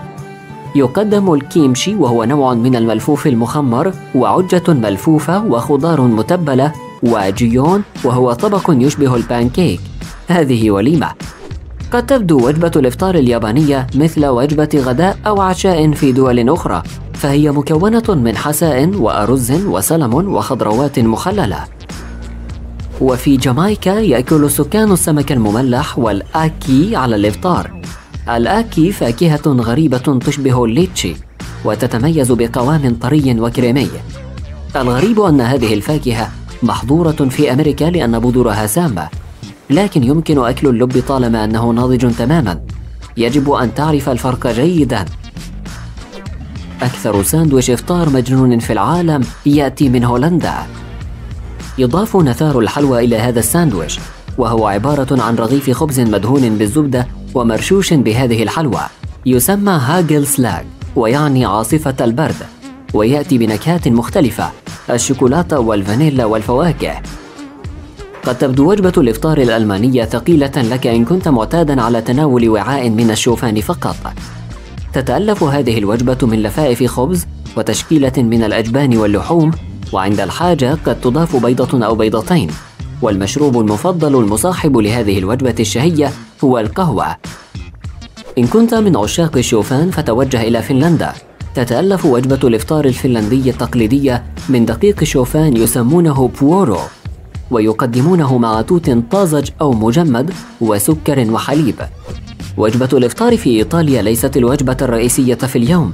قد يتناولون حبة كورنيتو وهو عبارة عن كرواسون مع حشوة حلوة أحيانا مع الكابوتشينو. بالمناسبة لا يحتسي الإيطاليون سوى الكابوتشينو في الصباح. وإن طلبت مشروب لاتيه في إيطاليا فستحصل على كاس حليب. اللاتيه المعروف يحمل اسم كافي لاتيه في إيطاليا. الميوسلي طبق محبوب في كافة أنحاء العالم لكنه الطبق المفضل في سويسرا. يتكون ميوسلي الإفطار التقليدي من رقائق الشوفان والزبيب والفواكه المجففة والمكسرات ويتم خلطه بالزبادي في العادة.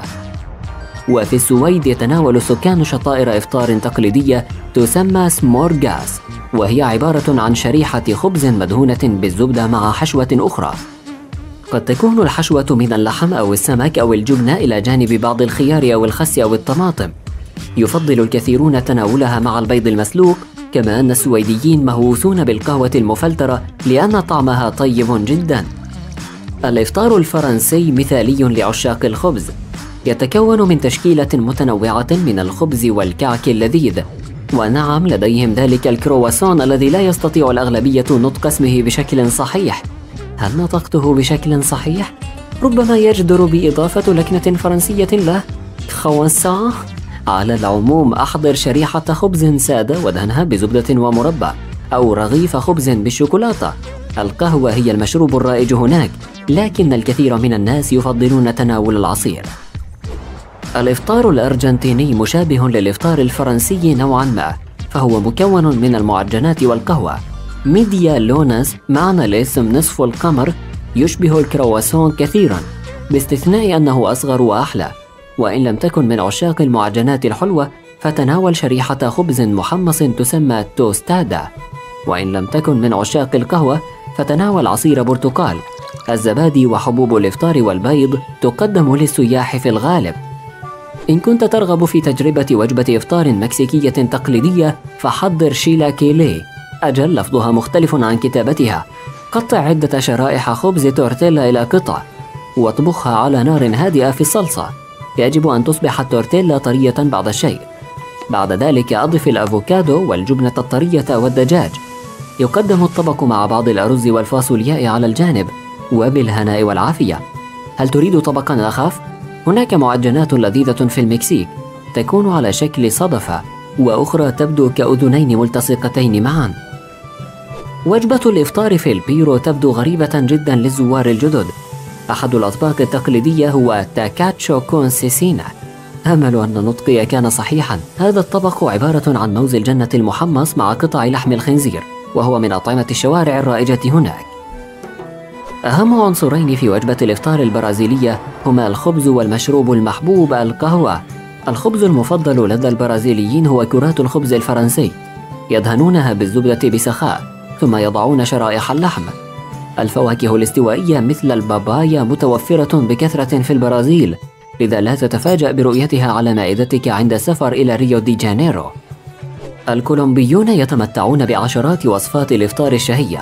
في العاصمة بوغوتا يقدم التشانغوا وهو حساء بيض وحليب مع كزبرة وخبز يابس منقوع في المرق. طبق آخر شهي هو كالينتادو ويعد من أرز معاد تسخينه أو بقايا الفاصولياء ويقدم مع النقانق والأفوكادو والبيض. في كوستاريكا الناس معتادون على أكل الأرز والفاصولياء على الإفطار أيضا. يا للمفاجأة لكن على عكس كولومبيا يشوي شعب كوستاريكا موز الجنة. وهو مثل الموز العادي لكنه أقل حلاوة بكثير. بدل النقانق. المشروبات بسيطة قهوة أو عصير. هل بدأت تشعر بالجوع؟ دولة أخرى يشيع فيها تناول الأرز على الإفطار هي ماليزيا لكن طريقة تحضيره رائعة ومميزة هناك. يتم طهيه في حليب جوز الهند ويقدم مع تشكيلة متنوعة من الأطباق الجانبية بيض مسلوق أو خيار أو حتى فول سوداني. بيض بشكل عجة أو حشوة كعك أعواد عجينة مقلية منقوعة في حليب صويا ساخن فطائر بانكيك ملفوفة محشوة بالخضار. هل يبدو أي خيار شهيا لك؟ إذا يجب أن تجرب وجبة إفطار تايوانية مرة واحدة على الأقل. تقدم هذه الأطباق مع أشكال مختلفة من حليب الصويا الساخن. يوجد حليب سادة أو أسود والأخير هو حليب متبل بمسحوق السمسم والفول السوداني. لا تكتمل وجبة الإفطار في هونغ كونغ بدون شاي الحليب التقليدي. يكمن سر تميزه في التقنية المستخدمة لتحضيره. قطعة القماش التي تصفي الشاي تشبه الجورب وتكون سميكة جدا. بعد تصفية الشاي الأسود لا تنسى إضافة بعض الحليب المبخر والسكر للحصول على تلك النكهة الكشدية الأصلية. لا تسئ فهم التالي. إن رأيت وجبة إفطار مكونة من بعض النقانق والبيض واللحم المشوي فهذا لا يعني أنه فطور إنجليزي. دقق النظر. هل ترى ذلك الأرز؟ لحم مقدد حلو ومتبل بسكر بني وصلصة الصويا وكوب من الشوكولاتة الساخنة. أهلا بك في الفلبين واستمتع بوجبتك الشهية. إن سافرت إلى إندونيسيا ذات يوم فلا تفوت فرصة تجربة عصيدتهم المصنوعة من الأرز الأسود وحليب جوز الهند على الإفطار. لكن يجب أن أخلي مسؤوليتي هنا. ليست سوداء في الواقع بل بنفسجية تسمى بوبور كيتان هيتام. هل نطقتها بشكل صحيح؟ تزداد لذة هذا الطبق عندما تعلوه شرائح الموز والقرفة كما لديهم البابيدا وهو شوفان مصنوع من دقيق الساغو هذا الطبق نشوي ولزج ويشبه العصيدة أو السلايم. سكان ميانمار معتادون على تناول حساء إفطار شهي يسمى موهينجا وهو غني بنكهات متنوعة. يحتوي على الزنجبيل ومعجون السمك وعصير الليمون والفلفل الحار والكزبرة والبصل. يضاف إلى هذا الحساء سمك السلور والنودلز. مالح حلو حار حامض. كلها في طبق واحد. لو كانت هناك مسابقة لأكبر وجبة إفطار في العالم فإن الإيرلنديين سيربحون الجائزة الكبرى. اسمع القائمة. الإفطار الإيرلندي التقليدي مكون من اللحم المقدد والبودنج الأبيض والبودنج الأسود وبطاطا الهاش براون والبيض المقلي أو البيض المخفوق والنقانق والفاصولياء وبعض الكبد المقلي أحيانا. كيف ستحرق كل تلك السعرات الحرارية؟ هناك العديد من الأساطير حول أعظم بناء بناه البشر على الإطلاق سور الصين العظيم. يقول البعض إنه ضخم جدا لدرجة أنه يمكن رؤيته من الفضاء ويدعي آخرون أنه يمكنك رؤيته من مسافة بعيدة مثل القمر. وتشير نظريات أخرى إلى أن بناة الجدار تركوا في الداخل. آسف لإحباطك. ولكن كل هذه القصص المثيرة للإعجاب هي مجرد أساطير. ولكن حتى مع تدمير تلك القصص فإن سور الصين العظيم عبارة عن هيكل مثير للإعجاب ومذهل حقا. لذا دعوني أخبركم بقصته الحقيقية. اليوم تعد الصين واحدة من أكثر الدول سكانا في العالم حيث يصل عدد سكانها إلى 1.4 مليار نسمة. كما أنها واحدة من أقدم الأمم في العالم. لديها 3500 سنة من التاريخ المكتوب المستمر. ولكن الحضارة كانت موجودة قبل ذلك بوقت طويل. هناك نظرية مفادها أنه في حين أن القارة الأوروبية على سبيل المثال قد وصل إليها على الأرجح بشر من إفريقيا فإن الصين لم تكن مأهولة بمستوطنين أتوا من مكان آخر. يعتقد بعض الناس أن الحضارة الصينية تشكلت من سكان العصر الحجري المحليين الذين عاشوا في المنطقة منذ فترة ما قبل التاريخ. سور الصين العظيم كبير جدا حتى بمعايير اليوم. ويمتد لمسافة تزيد عن 13 ألف ميل. ولتخيل الأمر بشكل أفضل فهو خمسة أضعاف المسافة بين نيويورك ولوس أنجلوس تقريبا. أو حتى أكبر قليلا من المسافة بين القطبين الشمالي والجنوبي. حتى في العصر الحديث لم يقم الناس ببناء أي شيء قريب من هذا الحجم. بالطبع لم يستغرق بناء سور الصين العظيم يوما واحدا. يومان فلتكمل في الواقع تم بناء الجدار على مر عدة قرون. ربما تعلم أن المدن القديمة كانت تحيط بها أسوار لحماية نفسها من الغزاة. نعم كانت المدن الصينية تمتلكها أيضا. وحد الإمبراطور الصيني الأول البلاد في عام 220 قبل الميلاد وحصل على فكرة رائعة ولكنها طموحة للغاية. تحويل جميع أسوار المدينة إلى جدار واحد كبير يدافع عن حدود البلاد ضد الهجمات القادمة من الشمال.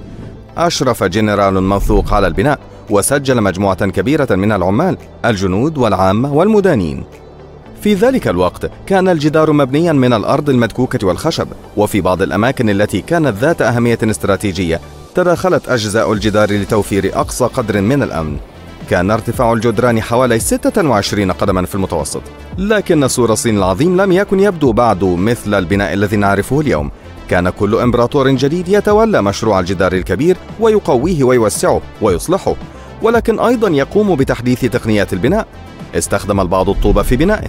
انتقل البعض إلى كتل الجرانيت والرخام. لم تكن أبراج المراقبة والمنصات موجودة منذ البداية أيضا فقد أضافها أباطرة مينغ. أتاحت أبراج المراقبة التواصل مع أجزاء الجدار الأخرى من خلال رسائل الدخان والنار. لذا فإن الجدار غير متناسق تماما من حيث المواد لكنه يضيف المزيد من السحر إلى البناء ويظهر مقدار الجهد والوقت الذي استغرقه. السبب وراء بقاء بعض أجزاء الجدار قائمة منذ قرون وما زالت في حالة جيدة هو دقيق الأرز اللزج. اتضح أن ملاط الأرز اللزج هذا يشبه الأسمنت تقريبا فهو قوي جدا ومقاوم للماء ويغلق الطوب معا بإحكام بحيث لا يمكن حتى للأعشاب الضارة أن تنمو بينها. قد تلاحظ أيضا أن بعض الطوب عليها كتابات محفورة تركها العمال الذين كانوا يبنون الجدار. الغرض من هذه الكتابات هو ضمان الجودة فهي تحتوي على معلومات مثل الموقع والكمية والمسؤولين المسؤولين. لذلك في حالة وجود بعض المشاكل في جودة المواد أو الإنشاءات سيتم معرفة من يجب أن يتحمل المسؤولية عنها. في الآونة الأخيرة بحثت مجموعة بحثية في الوثائق التاريخية الرسمية لأسرة مينغ التي حكمت الصين من القرن الرابع عشر إلى القرن السابع عشر لقد عثروا على سجلات الأبواب السرية في سور الصين العظيم. لذلك قرروا العثور عليها.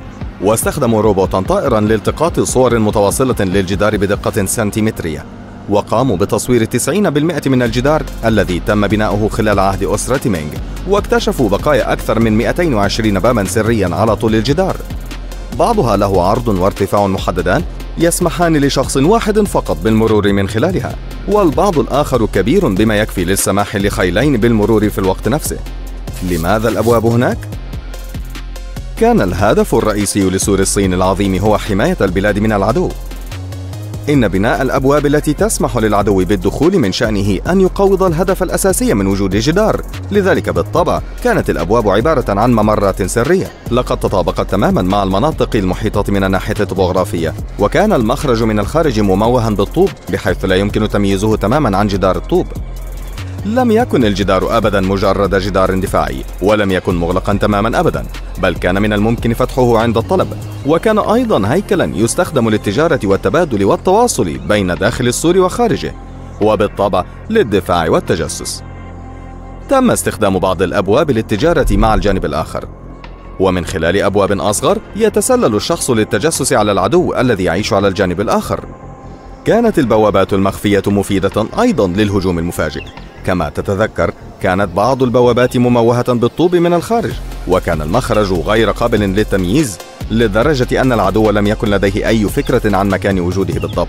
كان المدخل الداخلي للجنود الصينيين مجوفا حتى يتمكنوا من السير عبر الجدار وكسر بوابة الخروج المموهة من الداخل لبدء هجومهم المفاجئ. على الرغم من أن النقطة الرئيسية كانت منع الغرباء من الدخول إلى المدينة إلا أن الجدار لم يكن فعالا للغاية في هذا الشأن. لا يزال من الممكن التسلق أو السير حوله. لذلك كان الجدار تحت المراقبة في جميع الأوقات وكان الحراس يرسلون إشارات للقوات إذا رأوا اقتراب العدو. كما أتاح الجدار المزيد من الوقت لتعبئة وتجميع قوات البلاد أو جذب قوات العدو إلى موقع استراتيجي صعب. توقف البناء في نهاية القرن التاسع عشر. وفقد الجدار أهميته الاستراتيجية والعسكرية بسبب التقدم التكنولوجي على مر القرون وحتى يومنا هذا. لا يزال ثمانية بالمئة فقط من سور الصين العظيم في حالة جيدة والباقي متضرر. كما اختفى حوالي ثلث الجدار دون أن يترك أثرا بسبب التآكل الطبيعي والأضرار البشرية. أعتقد أنه يمكنك القول إنه الآن مجرد جدار جيد جدا. كما تتذكر تم بناء الأجزاء الأولى من الجدار من الأرض المدكوكة والخشب. هذه ليست المواد الأكثر ثباتا إذا كنا نتحدث عن آلاف السنين. كما أن أساليب الزراعة المدمرة حولت مساحات واسعة إلى صحراء وساهمت في تآكلها. كما تم نقل الكثير من الطوب من السور في القرن الماضي لاستخدامه في بناء المزارع والمنازل. يتم تفكيك الجدار حجرا حجرا حتى يومنا هذا. ولكن هذه المرة من قبل السياح عدد قليل منهم يأخذون الحجر كتذكار.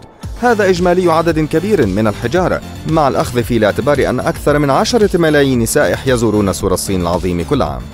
منذ عام 1987 أصبح الجدار أحد مواقع التراث العالمي لليونسكو مما يسلط الضوء على أهميته البارزة للإنسانية يعد الجدار أحد مواقع التراث العالمي البالغ عددها 56 موقعا في الصين ويحتل المركز الثاني بين الدول ذات المعالم المحمية من قبل اليونسكو من هو الأول؟ تسأل؟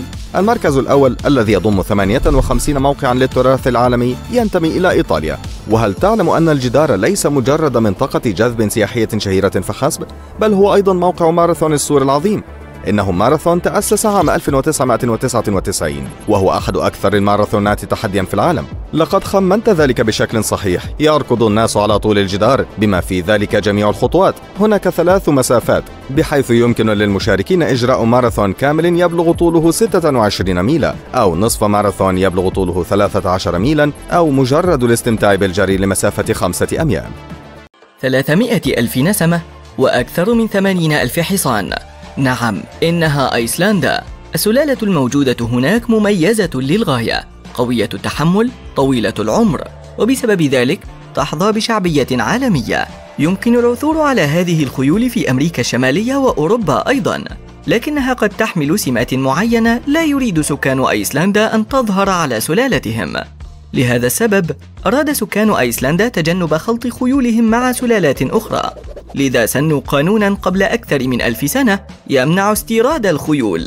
هذا صحيح حتى لو أعطوك خيولهم لا يمكنك إعادتها. مضغ العلكة ممنوع في سنغافورة.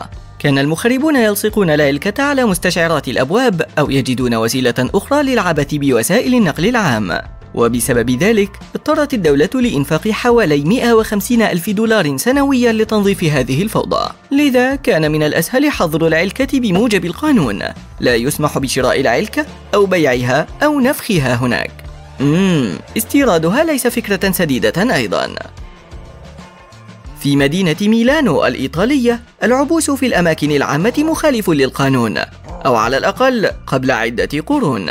خلال الأزمات التاريخية أراد حكام مدينة ميلان ابتكار طريقة للتميز ولهذا صدر قانون يطالب السكان بالابتسام والتحلي بمزاج إيجابي في الأماكن العامة. توجد في ألمانيا طرق سريعة يمكنك القيادة فيها بسرعة تتجاوز 160 كيلومتر في الساعة. لكن إن تماديت في السرعة ونفد وقود سيارتك وأنت لا تزال على الطريق السريع فستدفع غرامة كبيرة مقابل ذلك. هل توجد محطة وقود على نطاق يتراوح بين 1.6 و 3 كيلومترات وترغب في المشي إليها؟ من الأفضل لك عدم فعل ذلك لأنها مخالفة أخرى. يحملك الألمان مسؤولية تزويد سيارتك بالوقود والمشي على الطريق السريع ليس آمنا. إلى جانب ترك سيارتك على جانب الطريق. سلام من نيوزيلندا. إن خطر في بالك فجأة قضاء فترة ظهيرة يوم الأحد في التحليق مع ديك في منطاد فيجب عليك البحث عن بلد آخر للقيام بذلك لأن هذا غير قانوني هنا. المعذرة. لننتقل إلى جارة نيوزيلندا. في عام 1966 في أستراليا كان هناك قانون يمنع اللعب بطائرة ورقية في مكان عام إن كان ذلك سيزعج الآخرين. من حسن الحظ أن هذا القانون صدر في عام 1966 لذا لن يتذكره أي أحد إن قررت الاستمتاع باللعب بطائرة ورقية في الحديقة. وأثناء وجودك هناك لا يمكنك ربط ماعزك بسيارتك. أيضا لا ترتدي زي باتمان أو روبن. فأنت لا تريد أن تثبت للسلطات أنك لست بطلا ليليا حقيقيا أليس كذلك؟ في بعض المدن يجب على سائقي سيارات الأجرة وضع حزمة قش في صناديق سياراتهم طوال الوقت. على الأقل فرض ذلك عليهم حتى عام 1980 صدر هذا القانون في الأيام الخوالي عندما كانت الخيول لا تزال وسيلة نقل رائجة. ولا يمكنك مجرد تزويد الحصان بالوقود صحيح؟ لننتقل إلى أمريكا الآن.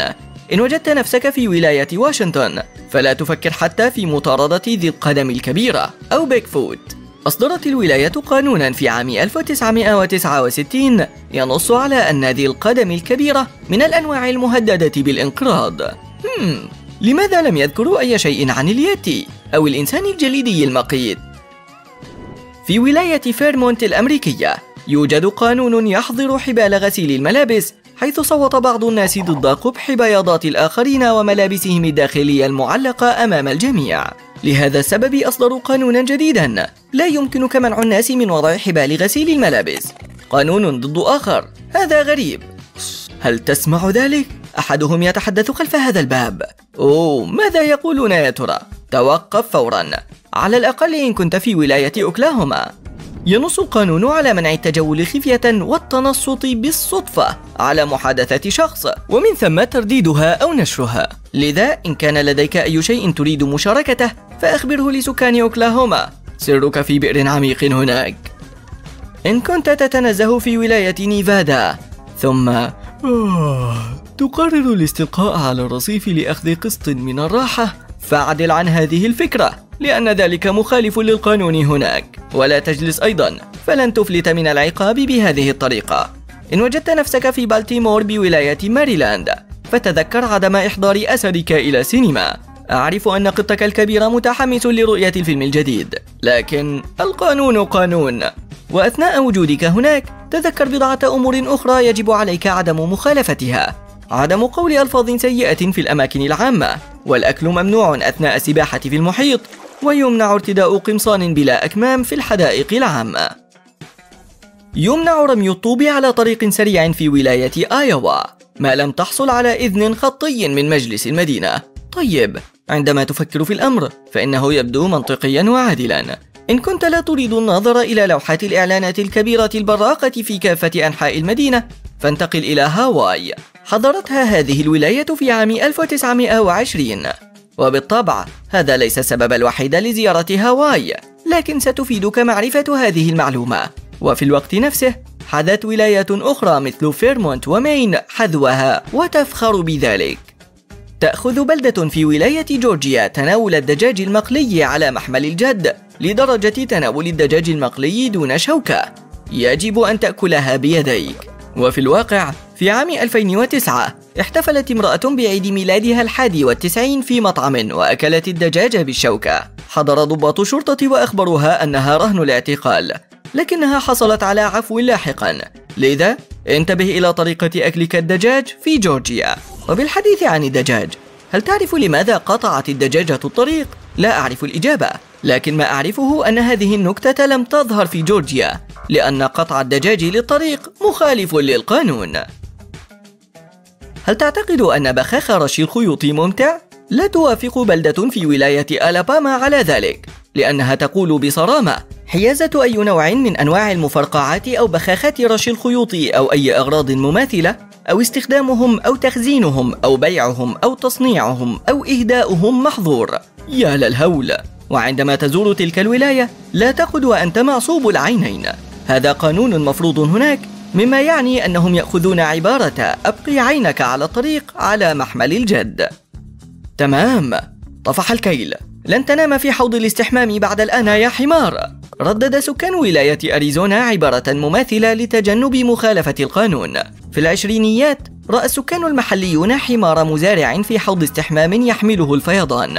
حدث الفيضان بسبب تحطم سد محلي وكان الحوض مرميا في فناء المزارع الخلفي. قرر الحمار أخذ قيلولة فيه. أنت تعرف كيف تسير الأمور. نهار طويل ظهيرة مشمسة وقيلولة ما بعد الغداء. لم يستطع المسكين منع نفسه. بعد إنقاذ الحيوان المسكين من الحوض المبحر قررت البلدة منع الحمير من النوم في أحواض الاستحمام. من باب التحسب والاحتياط. في ولاية كونيتيكت يجب أن يرتد المخلل حتى يعتبر مخللا. في الأربعينيات ألقي القبض على رجلين لبيعهما مخللات غير شرعية لأنها لم ترتد السؤال المهم هنا كيف يرتد المخلل بالضبط؟ المزيد من حلقة قوانين غريبة في ولاية كونيتيكت من غير القانوني عبور الشارع أثناء المشي على يديك يا رجل من الصعب عدم مخالفة هذا القانون صديقتك العزيزة تحتفل بعيد ميلادها ماذا ستقدمين لها؟ مم. قسيمة منتجع صحي. تذاكر إلى ديزني لاند عشاء في مطعم فاخر. فأر. للأسف سنستبعد الفأر من نقاشنا القانوني. إن كنت في ولاية مونتانا. يجب عليك احترام القانون. لكن من حسن الحظ أن الفئران تعد هدية رائعة في فلوريدا. فهي على الأقل أفضل بكثير من بعض الحيوانات الكبيرة. أثناء وجودك هناك يجب عليك دفع رسوم ركنها في المواقف. شأنها شأن سائر الجمال والفيلة والخيول وبقية قطيع الحيوانات. آسف يا رفاق يجب عليكم احترام القوانين. بغض النظر عن مدى شعورك بالإرهاق لا يمكنك الذهاب إلى الفراش في قصر باكنغهام إن كانت الملكة لا تزال مستيقظة. يمكن لأفراد العائلة المالكة الذهاب للنوم فقط بعد أن تنام الملكة. لا يمكنك التقاط صور السيلفي مع أفراد العائلة المالكة والسبب الدقيق لذلك غير معروف. يمكن لأفراد العائلة المالكة التحدث إليك لفترة قصيرة لكنهم لا يعطون توقيعهم لأحد وبالتالي لن يتمكن أحد من تزوير التوقيع الملكي. ويحذو حذوهم بعض المشاهير حيث يقوم الكثير من الناس ببيع أشياء تحمل تواقيع المشاهير بأسعار مرتفعة. ينبغي على الجميع النهوض عند نهوض الملكة عن مائدة العشاء وتنطبق هذه القاعدة أيضا على أفراد العائلة المالكة. فهم يقفون عند دخول الملكة إلى الغرفة أو مغادرتها. يتعين على سيدات العائلة المالكة البريطانية ترك شعرهن بلونه الطبيعي ولا يمكنهن اختيار قصات الشعر الغريبة التي قد تغير من مظهرهن وعليهن أيضا الحفاظ على المظهر المثالي لأظافرهن. أما فيما يتعلق بطلاء الأظافر فلا يسمح لهن سوى بوضع الطلاء الوردي الفاتح ويجب أن يكون مكياج الوجه خفيفا ويحظر عليهن وضع المكياج في الأماكن العامة. على جميع أحفاد العائلة المالكة الحصول على موافقة الملك الحالي قبل تقديم عرض زواج. هذه القاعدة موجودة في قانون الزواج الملكي وهي سارية منذ سنة 1772 لا يسمح لأفراد العائلة المالكة بتناول المحار فكثيرا ما يسبب المحار التسمم الغذائي. لا توجد حاليا قواعد سلوكية صارمة لتحية الملكة ولكن بعض أفراد العائلة المالكة يختارون إلقاء التحيات بالطريقة التقليدية فينحني الرجال قليلا بأعناقهم وتنحني السيدات بأجسامهن. هذا الإجراء الشكلي من قواعد الإتيكيت يحيي البعض الآخر الملكة بالمصافحة التقليدية إن مدت هي يدها. يمنع أفراد العائلة المالكة من قبول الهدايا من أشخاص لا تربطهم بهم علاقة على المستوى الشخصي حتى لا يعرضوا أنفسهم لأي منة من مقدم الهدية. بإمكانهم تلقي الزهور والمواد الغذائية بكميات معقولة ونسخ من كتب غير مثيرة للجدل من مؤلفيها وغيرها من العناصر ذات القيمة النقدية الصغيرة. وفقا لتقاليد زفاف الملكية يجب على عرائس العائلة المالكة حمل غصن واحد على الأقل من نبات الآس خلال الحفل. يرمز الآس إلى الأمل والحب وعلى كل عروس إضافته إلى باقة زهورها. يجب على أفراد العائلة المالكة أيضا المرور عبر نقطة مراقبة الجوازات. بالطبع لن يقفوا في طوابير كركاب الآخرين لكن يجب ختم جوازات سفرهم. الجميع مطالبون بذلك باستثناء الملكة فلا حاجة لها بجواز السفر لأن جميع جوازات السفر في الدولة تصدر بالنيابة عن صاحبة الجلالة. وعند عبور أي حدود لا يطلب من الملكة سوى اسمها الكامل وعنوانها وجنسيتها ومكان ميلادها. ولا تحمل الملكة كذلك رخصة قيادة فهي الشخص الوحيد في المملكة المتحدة الذي يمكنه قيادة السيارة دون لوحة سيارة. يمنع أن يسافر اثنان من ورثة العرش على متن نفس الطائرة أو نفس القطار وهذا ضروري لحماية العائلة المالكة كما أن الرحلات العائلية ممنوعة لكن الملكة إليزابيث تسمح بها أحيانا. تصافح الملكة خلال أي مناسبة الكثير من الأشخاص ولتجنب التعرض لأي عدوى عليها دائما ارتداء القفازات. هناك قاعدة أيضا لحمل كوب الشاي. فيجب أن يثبت الإبهام والسبابة الجزء العلوي من مقبض الكوب ويجب أن يحمل الإصبع الأوسط الجزء السفلي منه وأن يشير مقبض الكوب دائما إلى عقرب ساعة ثالثة. على سيدات العائلة المالكة محاولة الشرب من نفس المكان لتجنب ظهور العديد من بقع أحمر الشفاه على حافة الكوب. يجب على أفراد العائلة المالكة البريطانية إتقان فن المصافحة والطريقة الصحيحة للقيام بذلك هي الحفاظ على الاتصال البصري وهز اليد مرتين. وهذا ضروري لتجنب التواصل مع الناس لفترة طويلة ولإظهار معاملة أفراد العائلة المالكة للجميع باحترام متساو. هناك الكثير من القواعد والبروتوكولات التي يجب اتباعها في أي عشاء ملكي. ومنها ما يتعلق بأماكن جلوس الضيوف وطريقة وضع أدوات المائدة وأطباق التقديم المناسبة واتباع قواعد الإتيكيت أثناء الطعام وغير ذلك الكثير. فمثلا وفقا لقواعد الإتيكيت تتحدث الملكة مع الشخص الموجود على يمينها عند تقديم الطبق الأول وتتواصل مع الضيف على الجانب الأيسر عند تقديم الطبق الثاني. واجب على أفراد العائلة المالكة معرفة واحترام العادات والتقاليد وقواعد الإتيكيت في البلدان التي يزورونها. ويرافقهم دائما مترجمون محترفون لمساعدتهم في المواقف التي قد يحدث فيها لبس يجب على السيدات خلع قبعاتهن في أي مناسبة تقام في قصر باكنغهام وخارجه بعد الساعة السادسة مساء وارتداء التيجان. تنطبق هذه القاعدة على المتزوجات فقط.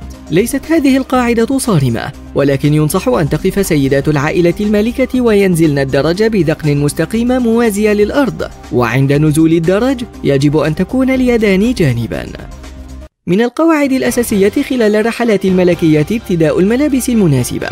يحظر على أفراد العائلة المالكة السفر بملابس عادية بسيطة كالأحذية الرياضية أو الهودي أو الجينز. فعليهم الظهور دائما بمظهر مثالي ولهذا دائما ما نجدهم يرتدون البدلات أو الفساتين الرسمية. من الضروري أيضا أن يضيف أفراد العائلة المالكة عناصر من الثقافة المحلية إلى ملابسهم كوضع دبوس معدني بشكل ورقة قيقب عند السفر إلى كندا. على الملكة أيضا ارتداء ملابس بألوان ساطعة أثناء رحلاتها لكي تبرز وسط الحشد الكبير من الناس. هناك مساعدون مخصصون للملابس ويسافرون إلى البلدان التي ينوي أفراد العائلة المالكة زيارتها قبل أسابيع للتخطيط واختيار ملابس أفراد العائلة المالكة لتكون ملائمة لطبيعة البلد وعاداتها. ويتحققون من تصاميم الملابس وألوانها حتى لا تحمل معنى مسيئا للسكان المحليين.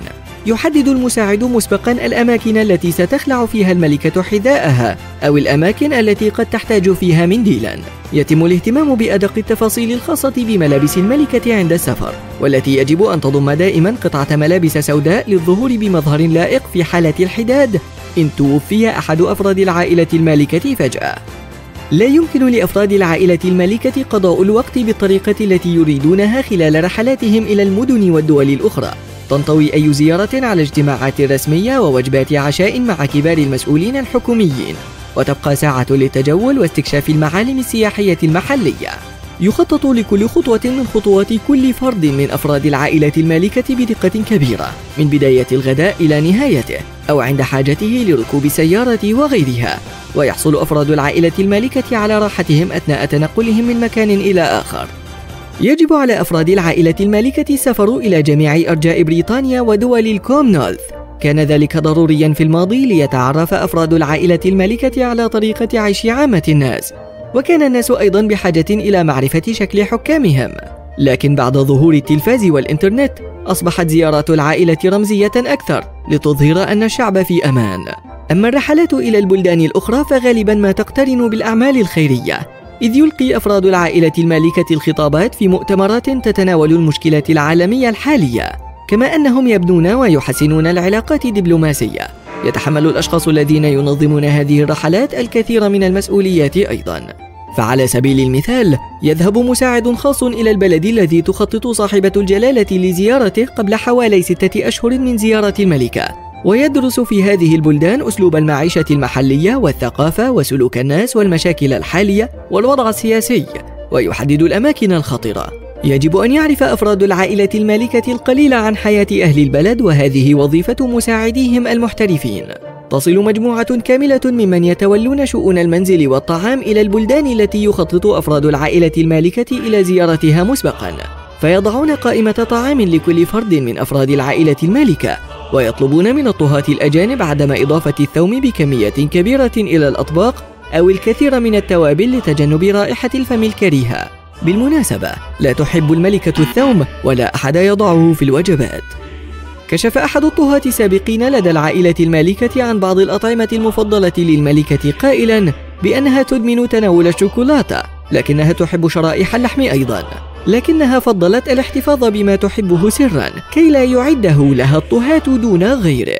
كما ويخبر مساعد العائلة المالكة موظف الفندق بالشراب المفضل لكل فرد من أفراد العائلة المالكة. يزور أطباء معينون خصيصا بزيارة جميع البلدان بشكل مسبق والتحقق من المستشفيات في الدول التي ستزورها جلالة الملكة وأعضاء العائلة المالكة الآخرين حيث يتعرف الأطباء على جودة المنظومة الطبية المحلية لكشف أي نقص في الأدوية وإحضارها معهم. إلى جانب ذلك تجهز حقيبة إسعافات أولية شخصية لكل فرد من أفراد العائلة ترافقه في جميع المناسبات. تخيل السيناريو التالي.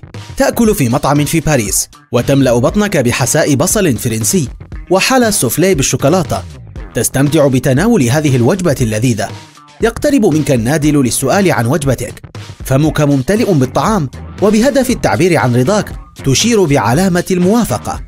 تتوقع رؤية السعادة على وجه النادل لكنه ينظر إليك بانزعاج. حسنا. اتضح أن عمل دائرة بأصابعك السبابة والإبهام لا يعني الموافقة في بعض الدول. في فرنسا ترمز الإشارة للصفر أو عديم القيمة بدلا من الثناء على الوجبة اللذيذة وصفتها بأنها عديمة القيمة. هذا سيء. في فنزويلا وتركيا والبرازيل يجب عليك تجنب استخدام هذه الإيماءة أيضا. ففي هذه الدول تهين هذه الإيماءة أي شخص توجهها إليه. اختر رسم ابتسامة عريضة على وجهك وانتظر حتى تنهي ما في فمك لتقدم الشكر المناسب لهم. في معظم أنحاء العالم ينظر إلى رفع الإبهام على أنه رمز إيجابي فهو تعبير عن إعجابك بالشيء. لكن في بعض مناطق إيطاليا وغرب إفريقيا وإيران واليونان تعتبر هذه الإشارة إيماءة مهينة جدا. عند زيارة ماليزيا يمكنك استخدام هذا الإصبع للإشارة إلى الأشياء. لذا في المرة القادمة التي تحاول فيها ركوب سيارة في هذه الدول تجنب رفع إبهامك لمحاولة إيقاف واحدة فقد يتجاهلك السائقون بالكامل. محاولة طلب اثنين من أي شيء أو الإشارة بعلامة السلام لشخص في بريطانيا أو أستراليا أو نيوزيلندا أمر مقبول بشرط ألا تقوم به بالطريقة الخاطئة. إن قمت بهذه الإيماءة بصورة خاطئة فإنها تتحول إلى إشارة مهينة للغاية. وهذا لن يحبب الناس بك. عند الإشارة بإصبعيك السبابة والوسطى تأكد من توجيه راحة يدك للخارج تفاديا لأي إساءة غير مقصودة. تستخدم شعوب شرق آسيا الانحناء كثيرا للتحية. كلما بالغت في الانحناء زاد الاحترام الذي تظهره للشخص. لا يتوقع معظم اليابانيين من الأجانب فهم آداب الانحناء على الفور. فهم يتقبلون المصافحة والإيماء بالرأس. لكن تثقيف نفسك في آداب الانحناء قبل الذهاب إلى اليابان سيبهر العامة هناك. إلى أي مدى يمكنك الانخفاض؟ يعتبر استخدام السبابة غير مهذب في عدة دول في أوروبا وأمريكا اللاتينية وأفريقيا كما تعد الإشارة به إلى الشخص حركة وقحة في الصين واليابان وإندونيسيا. قد تفسر هذه الإيماءة على أنها تمييز ضد الشخص لإلقاء اللوم عليه أو إهانته. عند السؤال عن الاتجاهات في الفلبين قد تشعر بحيرة كبيرة وتتساءل إلى أين يشير السكان. لا تقلق يستخدم الفلبينيون شفاههم بدلا من رفع أيديهم. لمنع نفسك من الوقوع في الخطأ أينما كنت في العالم ما عليك سوى الإشارة بيدك الكاملة إلى الشخص أو المكان. قد تعتقد أن رفع إصبعك الخنصر يجعلك تبدو رائعا لكنه تصرف مستهجن في الصين. هذه الإيماءة مشابهة لرفع الإبهام وتعني وجود شيء يضايقك. عند التقاط صور مع الآخرين. أظهر احترامك لهم ولا تشر بأي إيماءة بذيئة بيدك. تجنب إيماءتين على وجه الخصوص. رفع إصبعك الخنصر فقط والإشارة إلى غرض بشيء متسخ مثل شوكة أو عود أكل. من الممتع الأكل بعيدان الأكل لكنك ستسيء لمن حولك بدون قصد إن وضعتها بطريقة خاطئة. عند زيارة الصين أو كوريا الجنوبية أو اليابان لا ترتكب خطأ وضع عيدان الأكل بشكل منتصب في وعاء الأرز. هذا نذير للحظ السيء. إن اضطررت لوضع عيدان الأكل على الوعاء فاسندها على جنبه أو مدها فوقه. وعلى غرار ذلك عند تناول الطعام في كوريا الجنوبية أو الصين لا تطلب من أحد أن يمرر لك الطبق. في هذه الدول يجب عليك المشاركة والحصول على الطعام الذي تريده. لا تقلق بشأن آخر حبة على الطبق وتناولها بلا حرج. في بعض الدول من المقبول التمخط على مائدة العشاء فلا أحد يعرف متى يسيل أنفه فجأة. طالما أنك استأذنت واستدرت بعيدا فلا بأس عليك. لكن احذر إن كنت في اليابان أو الصين أو كوريا الجنوبية قد يتسبب الأكل الحار والمتبل هناك في سيلان أنفك بسرعة. إياك والتمخط في الأماكن العامة. إن اضطررت لذلك فاترك المائدة وتمخط في الحمام أو في مكان بعيد عن الأنظار وبهدوء. يبدو هذا التصرف وقحا وقذرا للأشخاص حولك. استخدم دائما منديلا ورقيا وليس قماشيا. وارمه بعد استخدام. تعد فيجي من أفضل الوجهات السياحية في العالم.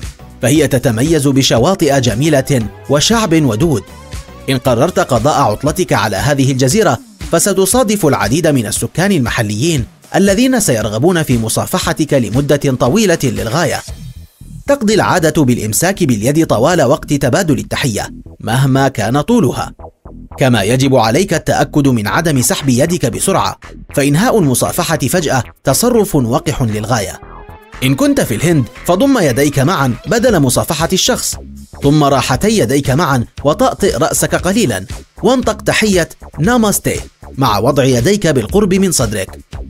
طي الذراعين لا يعني أي شيء في معظم الدول ربما يدل على شعورك بالبرد أو الملل أو أن هذه الوضعية ستشعرك براحة أكبر. مع ذلك قد تبعث الرسالة الخطأ في فنلندا. طي الذراعين يعني عدم الاحترام هناك. يراها الفنلنديون علامة على الغرور والاستهتار وأنك من النوع الذي يريد اختلاق المشاكل وإثارتها. ويا للهول سيرون في هذه الإشارة تحديا لهم وعلى الأرجح أنهم سيواجهونك إن قمت بها. تجنب بشكل خاص طي ذراعيك أمام الناس مباشرة فأنت لا تريد الوقوع في مأزق إن كنت تقضي عطلتك هناك. قد يكون من الطبيعي مصافحة الشخص بمجرد مقابلته في روسيا. لكن إن كنت عند مدخل أو رواق فتجنب فعل ذلك. لن تقع في مشكلة كبيرة إن نسيت هذه القاعدة البسيطة. لكن بعض الروسيين يعتبرونها جالبة للحظ السيء. تجاوز المدخل قبل أن تمد يدك للمصافحة وتنطبق هذه القاعدة على المطاعم والمنازل والمحلات وأي مكان آخر. تجنب هذا الخطأ البسيط وستوفر على نفسك الإحراج والحظ السيء. الرأس أقدس جزء في جسم الإنسان في تايلاند. لذلك فإن التربيت على رأس الشخص إهانة كبيرة هناك. في أمريكا التربيت على رأس الشخص تصرف مرح أو مؤشر على أنه أحسن صنعا. لكن في تايلاند كما قلنا من الأفضل عدم لمس رؤوس الآخرين لتجنب إهانتهم أو جعلهم يشعرون أنهم غير نظيفين. ومن الحكمة أيضا عدم الإشارة بأصابع قدميك لأن القدم تعد أقذر جزء في الجسم. إن كنت في عطلة فآخر شيء تود القيام به هو إهانة السكان المحليين. قد يكون النظر إلى ساعتك في منتصف المحادثة تصرفا وقحا في الشرق الأوسط. يشير هذا الفعل إلى أنك مستعجل وتريد الابتعاد عن محاورك حتى إن كان لديك موعد آخر. احرص على التصرف بلباقه دع المحادثة تأخذ مجراها الطبيعي قبل النظر للساعة. في الثقافة العربية حالما يبدأ التواصل يجب أن يأخذ وقته. مفهوم؟ في اليونان لا تستخدم ابدا إيماءة التوقف. بفرد الأصابع وتوجيه راحة اليد للخارج. قد تنال ما لا يرضيك إن فعلت ذلك مع أحد العامة هناك. فهذه الإيماءة إهانة كبيرة لليونانيين ويعود تاريخها إلى العصر البيزنطي. في كوريا الجنوبية لا تشر لسيارة أجرة أو تلوح لشخص بتوجيه راحة يدك للأعلى. إن قمت بذلك فلن يستجيب لك أحد. هذه هي الحركة التي يستدعي الكوريون بها كلابهم. الطريقة الصحيحة للتلويح هي بفرد ذراعك للخارج مع توجيه راحة يدك للأسفل وتحريك يدك للأعلى والأسفل بشكل عمودي. وهذه ليست الحركة الوحيدة التي يجب مراعاتها في كوريا الجنوبية. إن قدم لك شخص أكبر سنا مشروبا فيجب إمساكه بكلتا يديك. بعد ذلك أدر وجهك أثناء احتساء أول رشفة. هكذا تظهر احترامك له. واحترام كبار السن في غاية الأهمية في كوريا الجنوبية. إذا كنت تخطط لرحلة عبر المحيط الأطلسي فعليك الاستعداد لما هو أكثر من مجرد اضطراب الرحلات الجوية الطويلة. وفقا للمكان الذي تتجه إليه قد تبدو الحياة في أوروبا غريبة بعض الشيء. لذلك من الأفضل إجراء القليل من البحث قبل السفر. عند الحديث عن الاختلافات الصغيرة فإن أول الأشياء التي قد تلاحظها هو عدم وجود مكيف هواء. أتمنى أن تستمتع بالهواء النقي لأن تكييف الهواء المركزي ليس في كل مكان مثل اعتدت. في أوروبا قد تجد أن شقة شخص ما أو مكتبه أو حتى مطعمه بالكامل لا يحتوي على وحدة تكييف هواء، وذلك لأن بعض الأوروبيين يعتمدون فقط على نوافذهم للحصول على النسيم. ومع ذلك فإن الأماكن الأكبر حجما مثل محلات البقالة ومراكز التسوق عادة ما تحرص على تهوية الأشياء جيدا. المياه في المطاعم الأوروبية ليست دائما مجانية أيضا على الرغم من أن هذا الأمر شائع في الولايات المتحدة. بالتأكيد ستحصل على زجاجة فاخرة في معظم الأماكن ولكنك ستجدها مدرجة أيضا على فاتورتك. علاوة على ذلك إذا طلبت الماء فتأكد من تحديد نوعها لأنك قد تحصل على الماء الفوار بدلا من العادي. انسى أمر الحصول على كوب مملوء بالماء المثلج أيضا. قد تحصل على الماء البارد من الثلاجة لكن الأوروبيين لا يضعون في كل شيء أطنانا من الثلج كما يفعل الناس في الولايات المتحدة. إذا كنت تستمتع بمشاهدة المعالم السياحية بميزانية محدودة فأنت تعرف مدى فائدة تلك المراحيض العامة. بعد المشي لساعات من الرائع أن تجد حماما يمكنك فيه الانتعاش قليلا. من الأفضل أن يكون لديك ما يعادل خمسين سنتا أو نحو ذلك في جيبك. لأنه في العديد من الدول الأوروبية عليك أن تدفع مقابل استخدام هذه المراحيض العامة. حتى مطاعم الوجبات السريعة قد تفرض عليك رسوما مقابل هذه الخدمة. أفضل حل هو التوجه إلى المركز التجاري. عادة ما تكون دورات المياه هناك مجانية. أيضا في الولايات المتحدة غالبا ما تحتوي وحدات الحمامات على فتحة في الأسفل. يقول البعض إن هذا التصميم تم اختياره لأغراض التنظيف وسهولة الاستخدام. لكن في أوروبا تجدها شبه مغلقة لتوفير مزيد من الخصوصية. يعتبر يوم الاسم أيضا ذو أهمية كبيرة في أوروبا على الرغم من أنه لا يحظى بشعبية كبيرة في الولايات المتحدة. كل يوم من أيام السنة يعد بمثابة احتفال صغير بعيد ميلاد شخص يحمل اسما محددا. الأوروبيون الذين يتبعون هذا التقليد يعتبرونه بمثابة عيد ميلاد ثان بل إن البعض يأخذونه على محمل الجد أكثر من عيد ميلادهم الفعلي. حتى الطريقة التي ندرك بها الأشياء يمكن أن تكون مختلفة تماما وفقا للمكان الذي جئنا منه. فمثلا مبنى عمره مئة عام في أوروبا يعد جديدا لكنه في الولايات المتحدة يعتبر قديما. يتغير الأمر وفقا للشخص الذي تسأله. فقد يعتبر بعض الأمريكيين شيئا عمره مئتي عام قديما. ويخصص الأوروبيون هذه الكلمة لشيء يعود لفترة ما قبل العصور الوسطى. ولكن عندما يتعلق الأمر بالمسافات فالأمر عكس ذلك تماما. قد يجد الأوروبيون أن القيادة لمسافة 100 كيلومتر أو حوالي 60 ميلا هي مسافة طويلة بينما تعتبر هذه الرحلة قصيرة بالنسبة للأمريكيين. لكن هذا يبدو منطقيا إذا فكرت في الأمر لأن أوروبا أكثر ازدحاما بكثير. وفي الواقع فإن حجم الاتحاد الأوروبي بأكمله لا يتجاوز نصف حجم الولايات المتحدة. وفي كلتا الحالتين فإن الأوروبيين في حالة تنقل دائم. سواء كان ذلك داخل قارتهم أو إلى مكان آخر على هذا الكوكب. ربما يرجع السبب في ذلك إلى أن معظم الدول الأوروبية صغيرة جدا لدرجة أن الناس يكبرون معتقدين أنه من الطبيعي والسهل عبور الحدود طوال الوقت. حتى الأجهزة تميل إلى أن تكون مختلفة عند مقارنة المنطقتين. خذ الغسالات على سبيل المثال.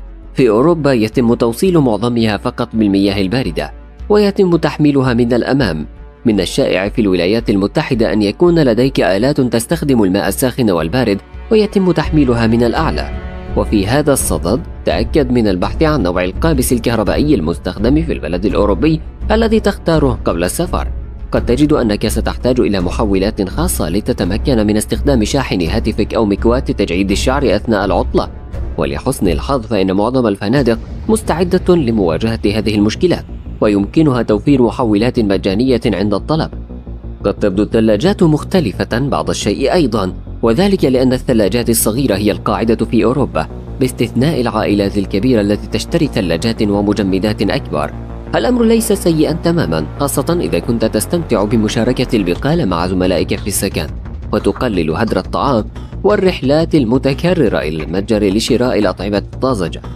قد ترغب أيضا في التعرف على النظام المتري قبل التوجه إلى أوروبا أيضا. يستخدم الجميع هناك الأمتار والجرامات واللترات ودرجات الحرارة المئوية. من المؤكد أن الناس في الولايات المتحدة قد يتعلمون النظام المتري في المدرسة. لكنهم يلتزمون بالنظام الآخر في حياتهم اليومية مع الياردات والأميال والأرطال والفahrenheit تأكد أيضا من التحقق مرة أخرى من التواريخ والأوقات قبل إجراء أي حجز. يكتب الأوروبيون تواريخهم بنظام يوم شهر سنة بينما يقلبها الأمريكيون إلى شهر يوم سنة.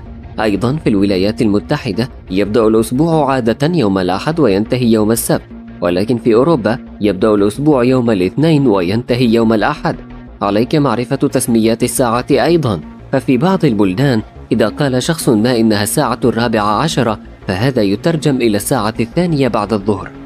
حتى الإعلانات قد تبدو مختلفة بعض الشيء عند وصولك إلى أوروبا لأول مرة. في الولايات المتحدة قد ترى أشخاصا يتجولون في الشوارع بأزياء كهذه للترويج للأعمال التجارية المحلية، لكن هذا مشهد نادر في أوروبا، كما أن تلك اللافتات الإعلانية الضخمة التي غالبا ما تراها على طول الطرق السريعة الأمريكية غير متوفرة في معظم الدول الأوروبية.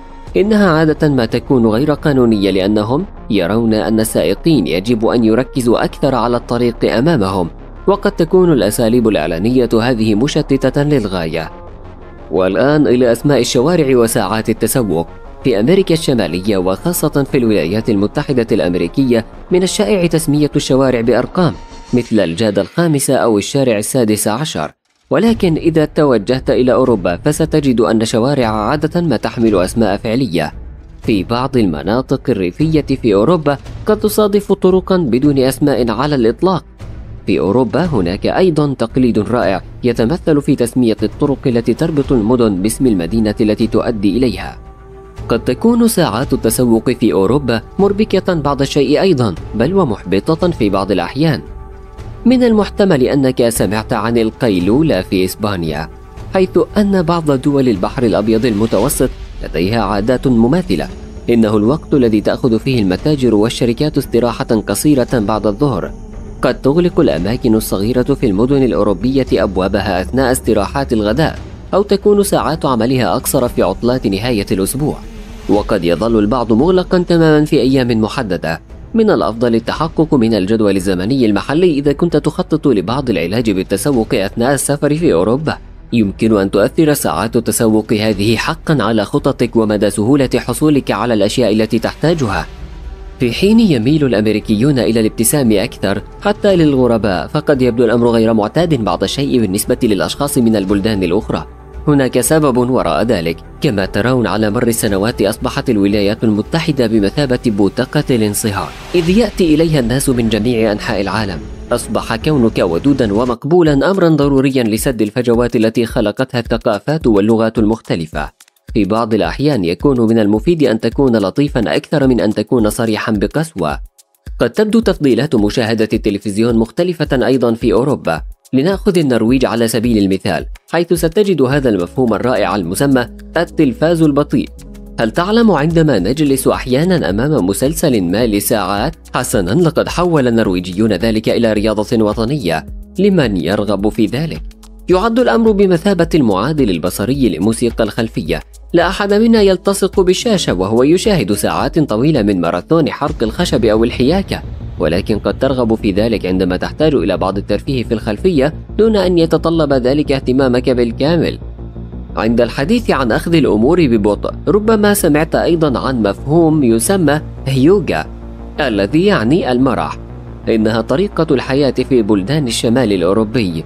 يعتقد البعض أن مبادئ الحياة هذه يمكن أن تكون سر السعادة. يتعلق الأمر بخلق حياة خالية من الأشياء المزعجة أو التي تسبب ضغطا يتعلق الأمر أيضا بإعطاء الأولوية لعلاقاتك والسعي دائما إلى التحلي بالإيجابية في بعض النواحي تعتبر الولايات المتحدة عالما مختلفا تماما مختلفا عن أي مكان آخر. لذا دعونا نلقي نظرة على ما يعد طبيعيا هناك لكنه يحير الناس الذين يعيشون خارجها. من أول الأشياء التي يلاحظها الأجنبي عند دخوله البلد هو الأعلام. الأعلام الأمريكية موجودة في كل مكان على المباني مثل المدارس والمنازل وعلى الملابس مثل السراويل القصيرة والقمصان وكل ما يخطر ببالك. على مر التاريخ غير الأمريكيون 27 علماً اعتمد العلم الأمريكي الحالي في عام 1960 وهو حتى الآن العلم الأطول عمراً في البلاد لكنه لم يكن من تصميم السلطات. في عام 1958 أجريت مسابقة لتصميم العلم الأمريكي الجديد وكان العلم الفائز من تصميم طالب في المدرسة الثانوية يبلغ 17 عاما من ولاية أوهايو. السبب الذي يجعل الأمريكيين يحبون علمهم كثيرا هو شعورهم بالفخر الوطني. ولكن لماذا لا تفعل الكثير من الدول الشيء نفسه؟ حسنا تتجنب بعض البلدان عرض الأعلام لأسباب تاريخية وترفع بلدان أخرى العلم فقط في المناسبات الخاصة لتسليط الضوء على أهمية الحدث. ومع ذلك فإن بعض الدول تعرض أعلامها مثل الأمريكيين. في الدنمارك يفخر الناس جدا بعلمهم أيضا ويزينون شجر العطلات الشتوية وكعك عيد الميلاد بالأعلام ويمكنك دائما العثور على ملصقات تحمل الأعلام الدنماركية والشموع الحمراء والبيضاء وغيرها من الأشياء التي تحمل العلم في متاجر البقالة. يحب الأشخاص في السويد علمهم كثيرا أيضا ولديهم ساريات أعلام في كل مكان. والآن لنذهب إلى مطعم. هيا بنا. توجد أشياء كثيرة خاصة جدا بالولايات المتحدة. على سبيل المثال وضع كمية ثلج كبيرة في كل مشروب وقد تبين أن هناك تاريخا لهذا التفضيل. فطالما كان لدى أمريكا الكثير من الجليد كأحد الموارد المهمة حيث أن بحيرات وأنهار نيو إنجلاند تحتوي على الكثير منه خلال فصل الشتاء. ومنذ قرون مضت قبل اختراع الثلاجات وغيرها من آلات التبريد المفيدة كان هذا النوع من مواد التبريد ذا قيمة كبيرة وبدأت الولايات المتحدة بتصدير الثلج إلى أجزاء أخرى من العالم كما استخدموه بأنفسهم كذلك وبدأوا بوضع الثلج في مشروباتهم الساخنة على عكس البريطانيين الذين كانوا يحتسون مشروباتهم ساخنة دائما. أصبح وضع الثلج في المشروبات عادة أمريكية وكان يعتبر أيضا مشروبا للأغنياء. أجل يمكن أن يظهر الثلج أيضا وضع الشخص الاجتماعي وبالطبع مع مرور الوقت عندما ظهرت الثلاجات أصبح الثلج متاحا للجميع وبدأ الأمريكيون بإضافته إلى مشروباتهم بشكل شائع واستمرت العادة ولكن المشروبات المثلجة منعشة للغاية وهذا مهم جدا خاصة في الجنوب الذي ترتفع فيه درجة الحرارة. ولكن إذا كنت قادما من خارج الولايات المتحدة ولا تود أن يكون مشروبك مثلجا فأخبر النادل بذلك دائما. والشيء المذهل التالي هو حصص الطعام الضخمة المقدمة ويوجد سبب لذلك أيضا. لم يكن الأمر هكذا دائما ولكن في النصف الثاني من القرن الماضي وبسبب المبيدات الحشرية والأسمدة بدأ المزارعون في زراعة غذاء أكثر مما اعتادوا زراعته. فأدركت الحكومة الأمر ودعمتهم لزراعة المزيد من الغذاء. وبالتالي زادت كمية الطعام المتوفرة. مع مرور الوقت بدأت الشركات في زيادة أحجام حصصها فلماذا تقدم كميات أقل من الطعام وتحصل على أموال أقل إن كان بإمكانك تقديم طعام أكثر قليلا مقابل سعر أعلى. وهذا أمر جيد تجاريا وهو مربح للجانبين حيث يحصل العملاء على المزيد من الطعام مقابل القليل من المال. حسنا نحتاج الآن إلى استراحة قصيرة للذهاب إلى المرحاض والمفاجئ أن هناك الكثير من الأجانب الذين يجدون المراحيض الأمريكية غريبة. أولا ما قصة هذه الفجوات الكبيرة في المراحيض بالحمامات العامة؟ لنبدأ بجزء أكثر وضوحا وهو الفجوات الموجودة أسفل الأبواب. هذه شائعة جدا حتى خارج الولايات المتحدة وهي مفيدة لعدة أغراض. أولا يمكنك معرفة إذا كان هناك شخص بالداخل دون أن تقوم باقتحام مرحاض مشغول. ثانيا توفر بعض التهوية وتسهل تنظيف الأرضية في الحمامات.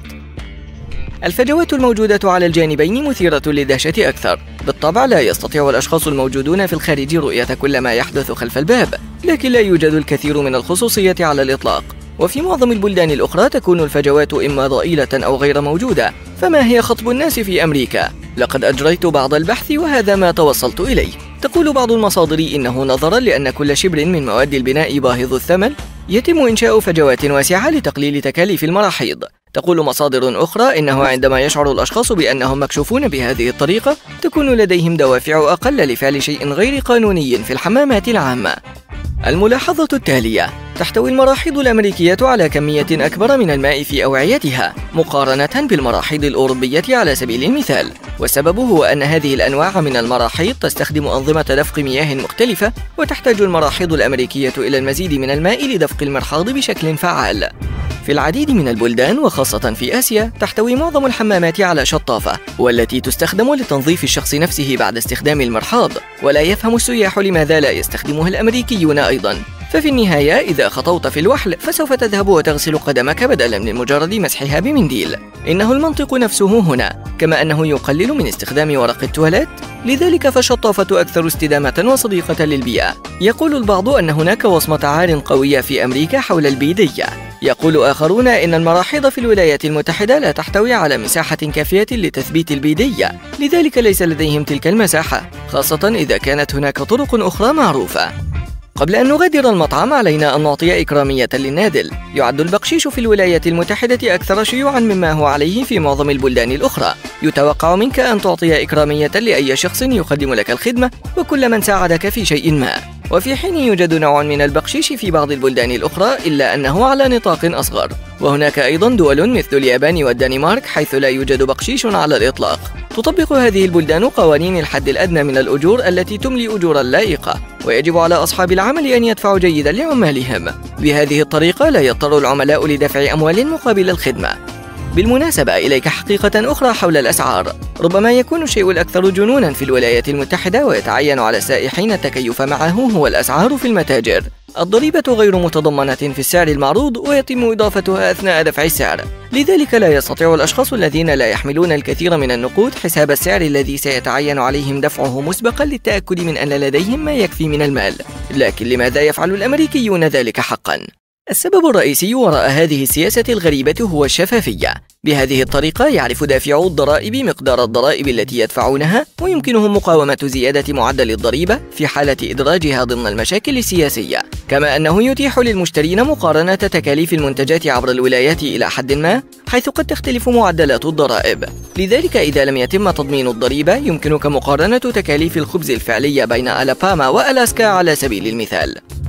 في بعض الأماكن في أمريكا ليس من السهل التجول إلا إذا سافرت بالسيارة. في بعض المناطق لا يوجد في كثير من الأحيان رصيف تسير عليه إلى أقرب متجر صغير أو ممر مشاة مما يسمح لك بعبور الطريق أمام المتجر مباشرة. ربما يكون السبب الرئيسي لذلك هو حقيقة أن الولايات المتحدة هي بلد كبير ذو أراضي شاسعة وكل شيء ممتد على مساحات كبيرة. يمكن أن تتوزع الأحياء في مناطق واسعة من الضواحي متباعدة تماما عن بعضها البعض. لذا فهي بالفعل بعيدة كل البعد عن كونها مسافة يمكن قطعها سيرا على الأقدام ولا حاجة إلى أرصفة للمشاة لأنه أجل. لا أحد يمشي. تشير الدراسات إلى أن الإسبان أو الألمان يمشون على الأقل ضعف قدر الأمريكيين ولكن في تلك البلاد كل شيء أقرب بكثير. أخيرا وليس آخرا كما خمنت وحدات القياس الإمبراطورية إنها تعتمد على جسم الإنسان. القدم هي متوسط حجم قدم الشخص لذلك قد تعتقد أن هذا أمر بديهي تماما لأي شخص. حسنا كلا يخلط الأجانب بشكل لا يصدق بين القدم والبوصة والجالون والفهرنهايت ويميلون إلى تحويلها كلها إلى النظام المتري المألوف. حسنا بهذا المعنى يكون البريطانيون أكثر إرباكا. فهؤلاء الأشخاص يستخدمون كلا النظامين الإمبراطوري والمتري بالنسبة للطول فهو في الغالب قدم وبوصة ولكن بالنسبة للوزن فهو بالكيلوغرام. لطالما كان لدى بريطانيا العظمى النظام الإمبراطوري لكنهم اضطروا لاحقا إلى التحول إلى النظام المتري لذا فهم الآن يستخدمون مزيجا من النظامين لمساعدتهم ليكونوا أكثر دقة.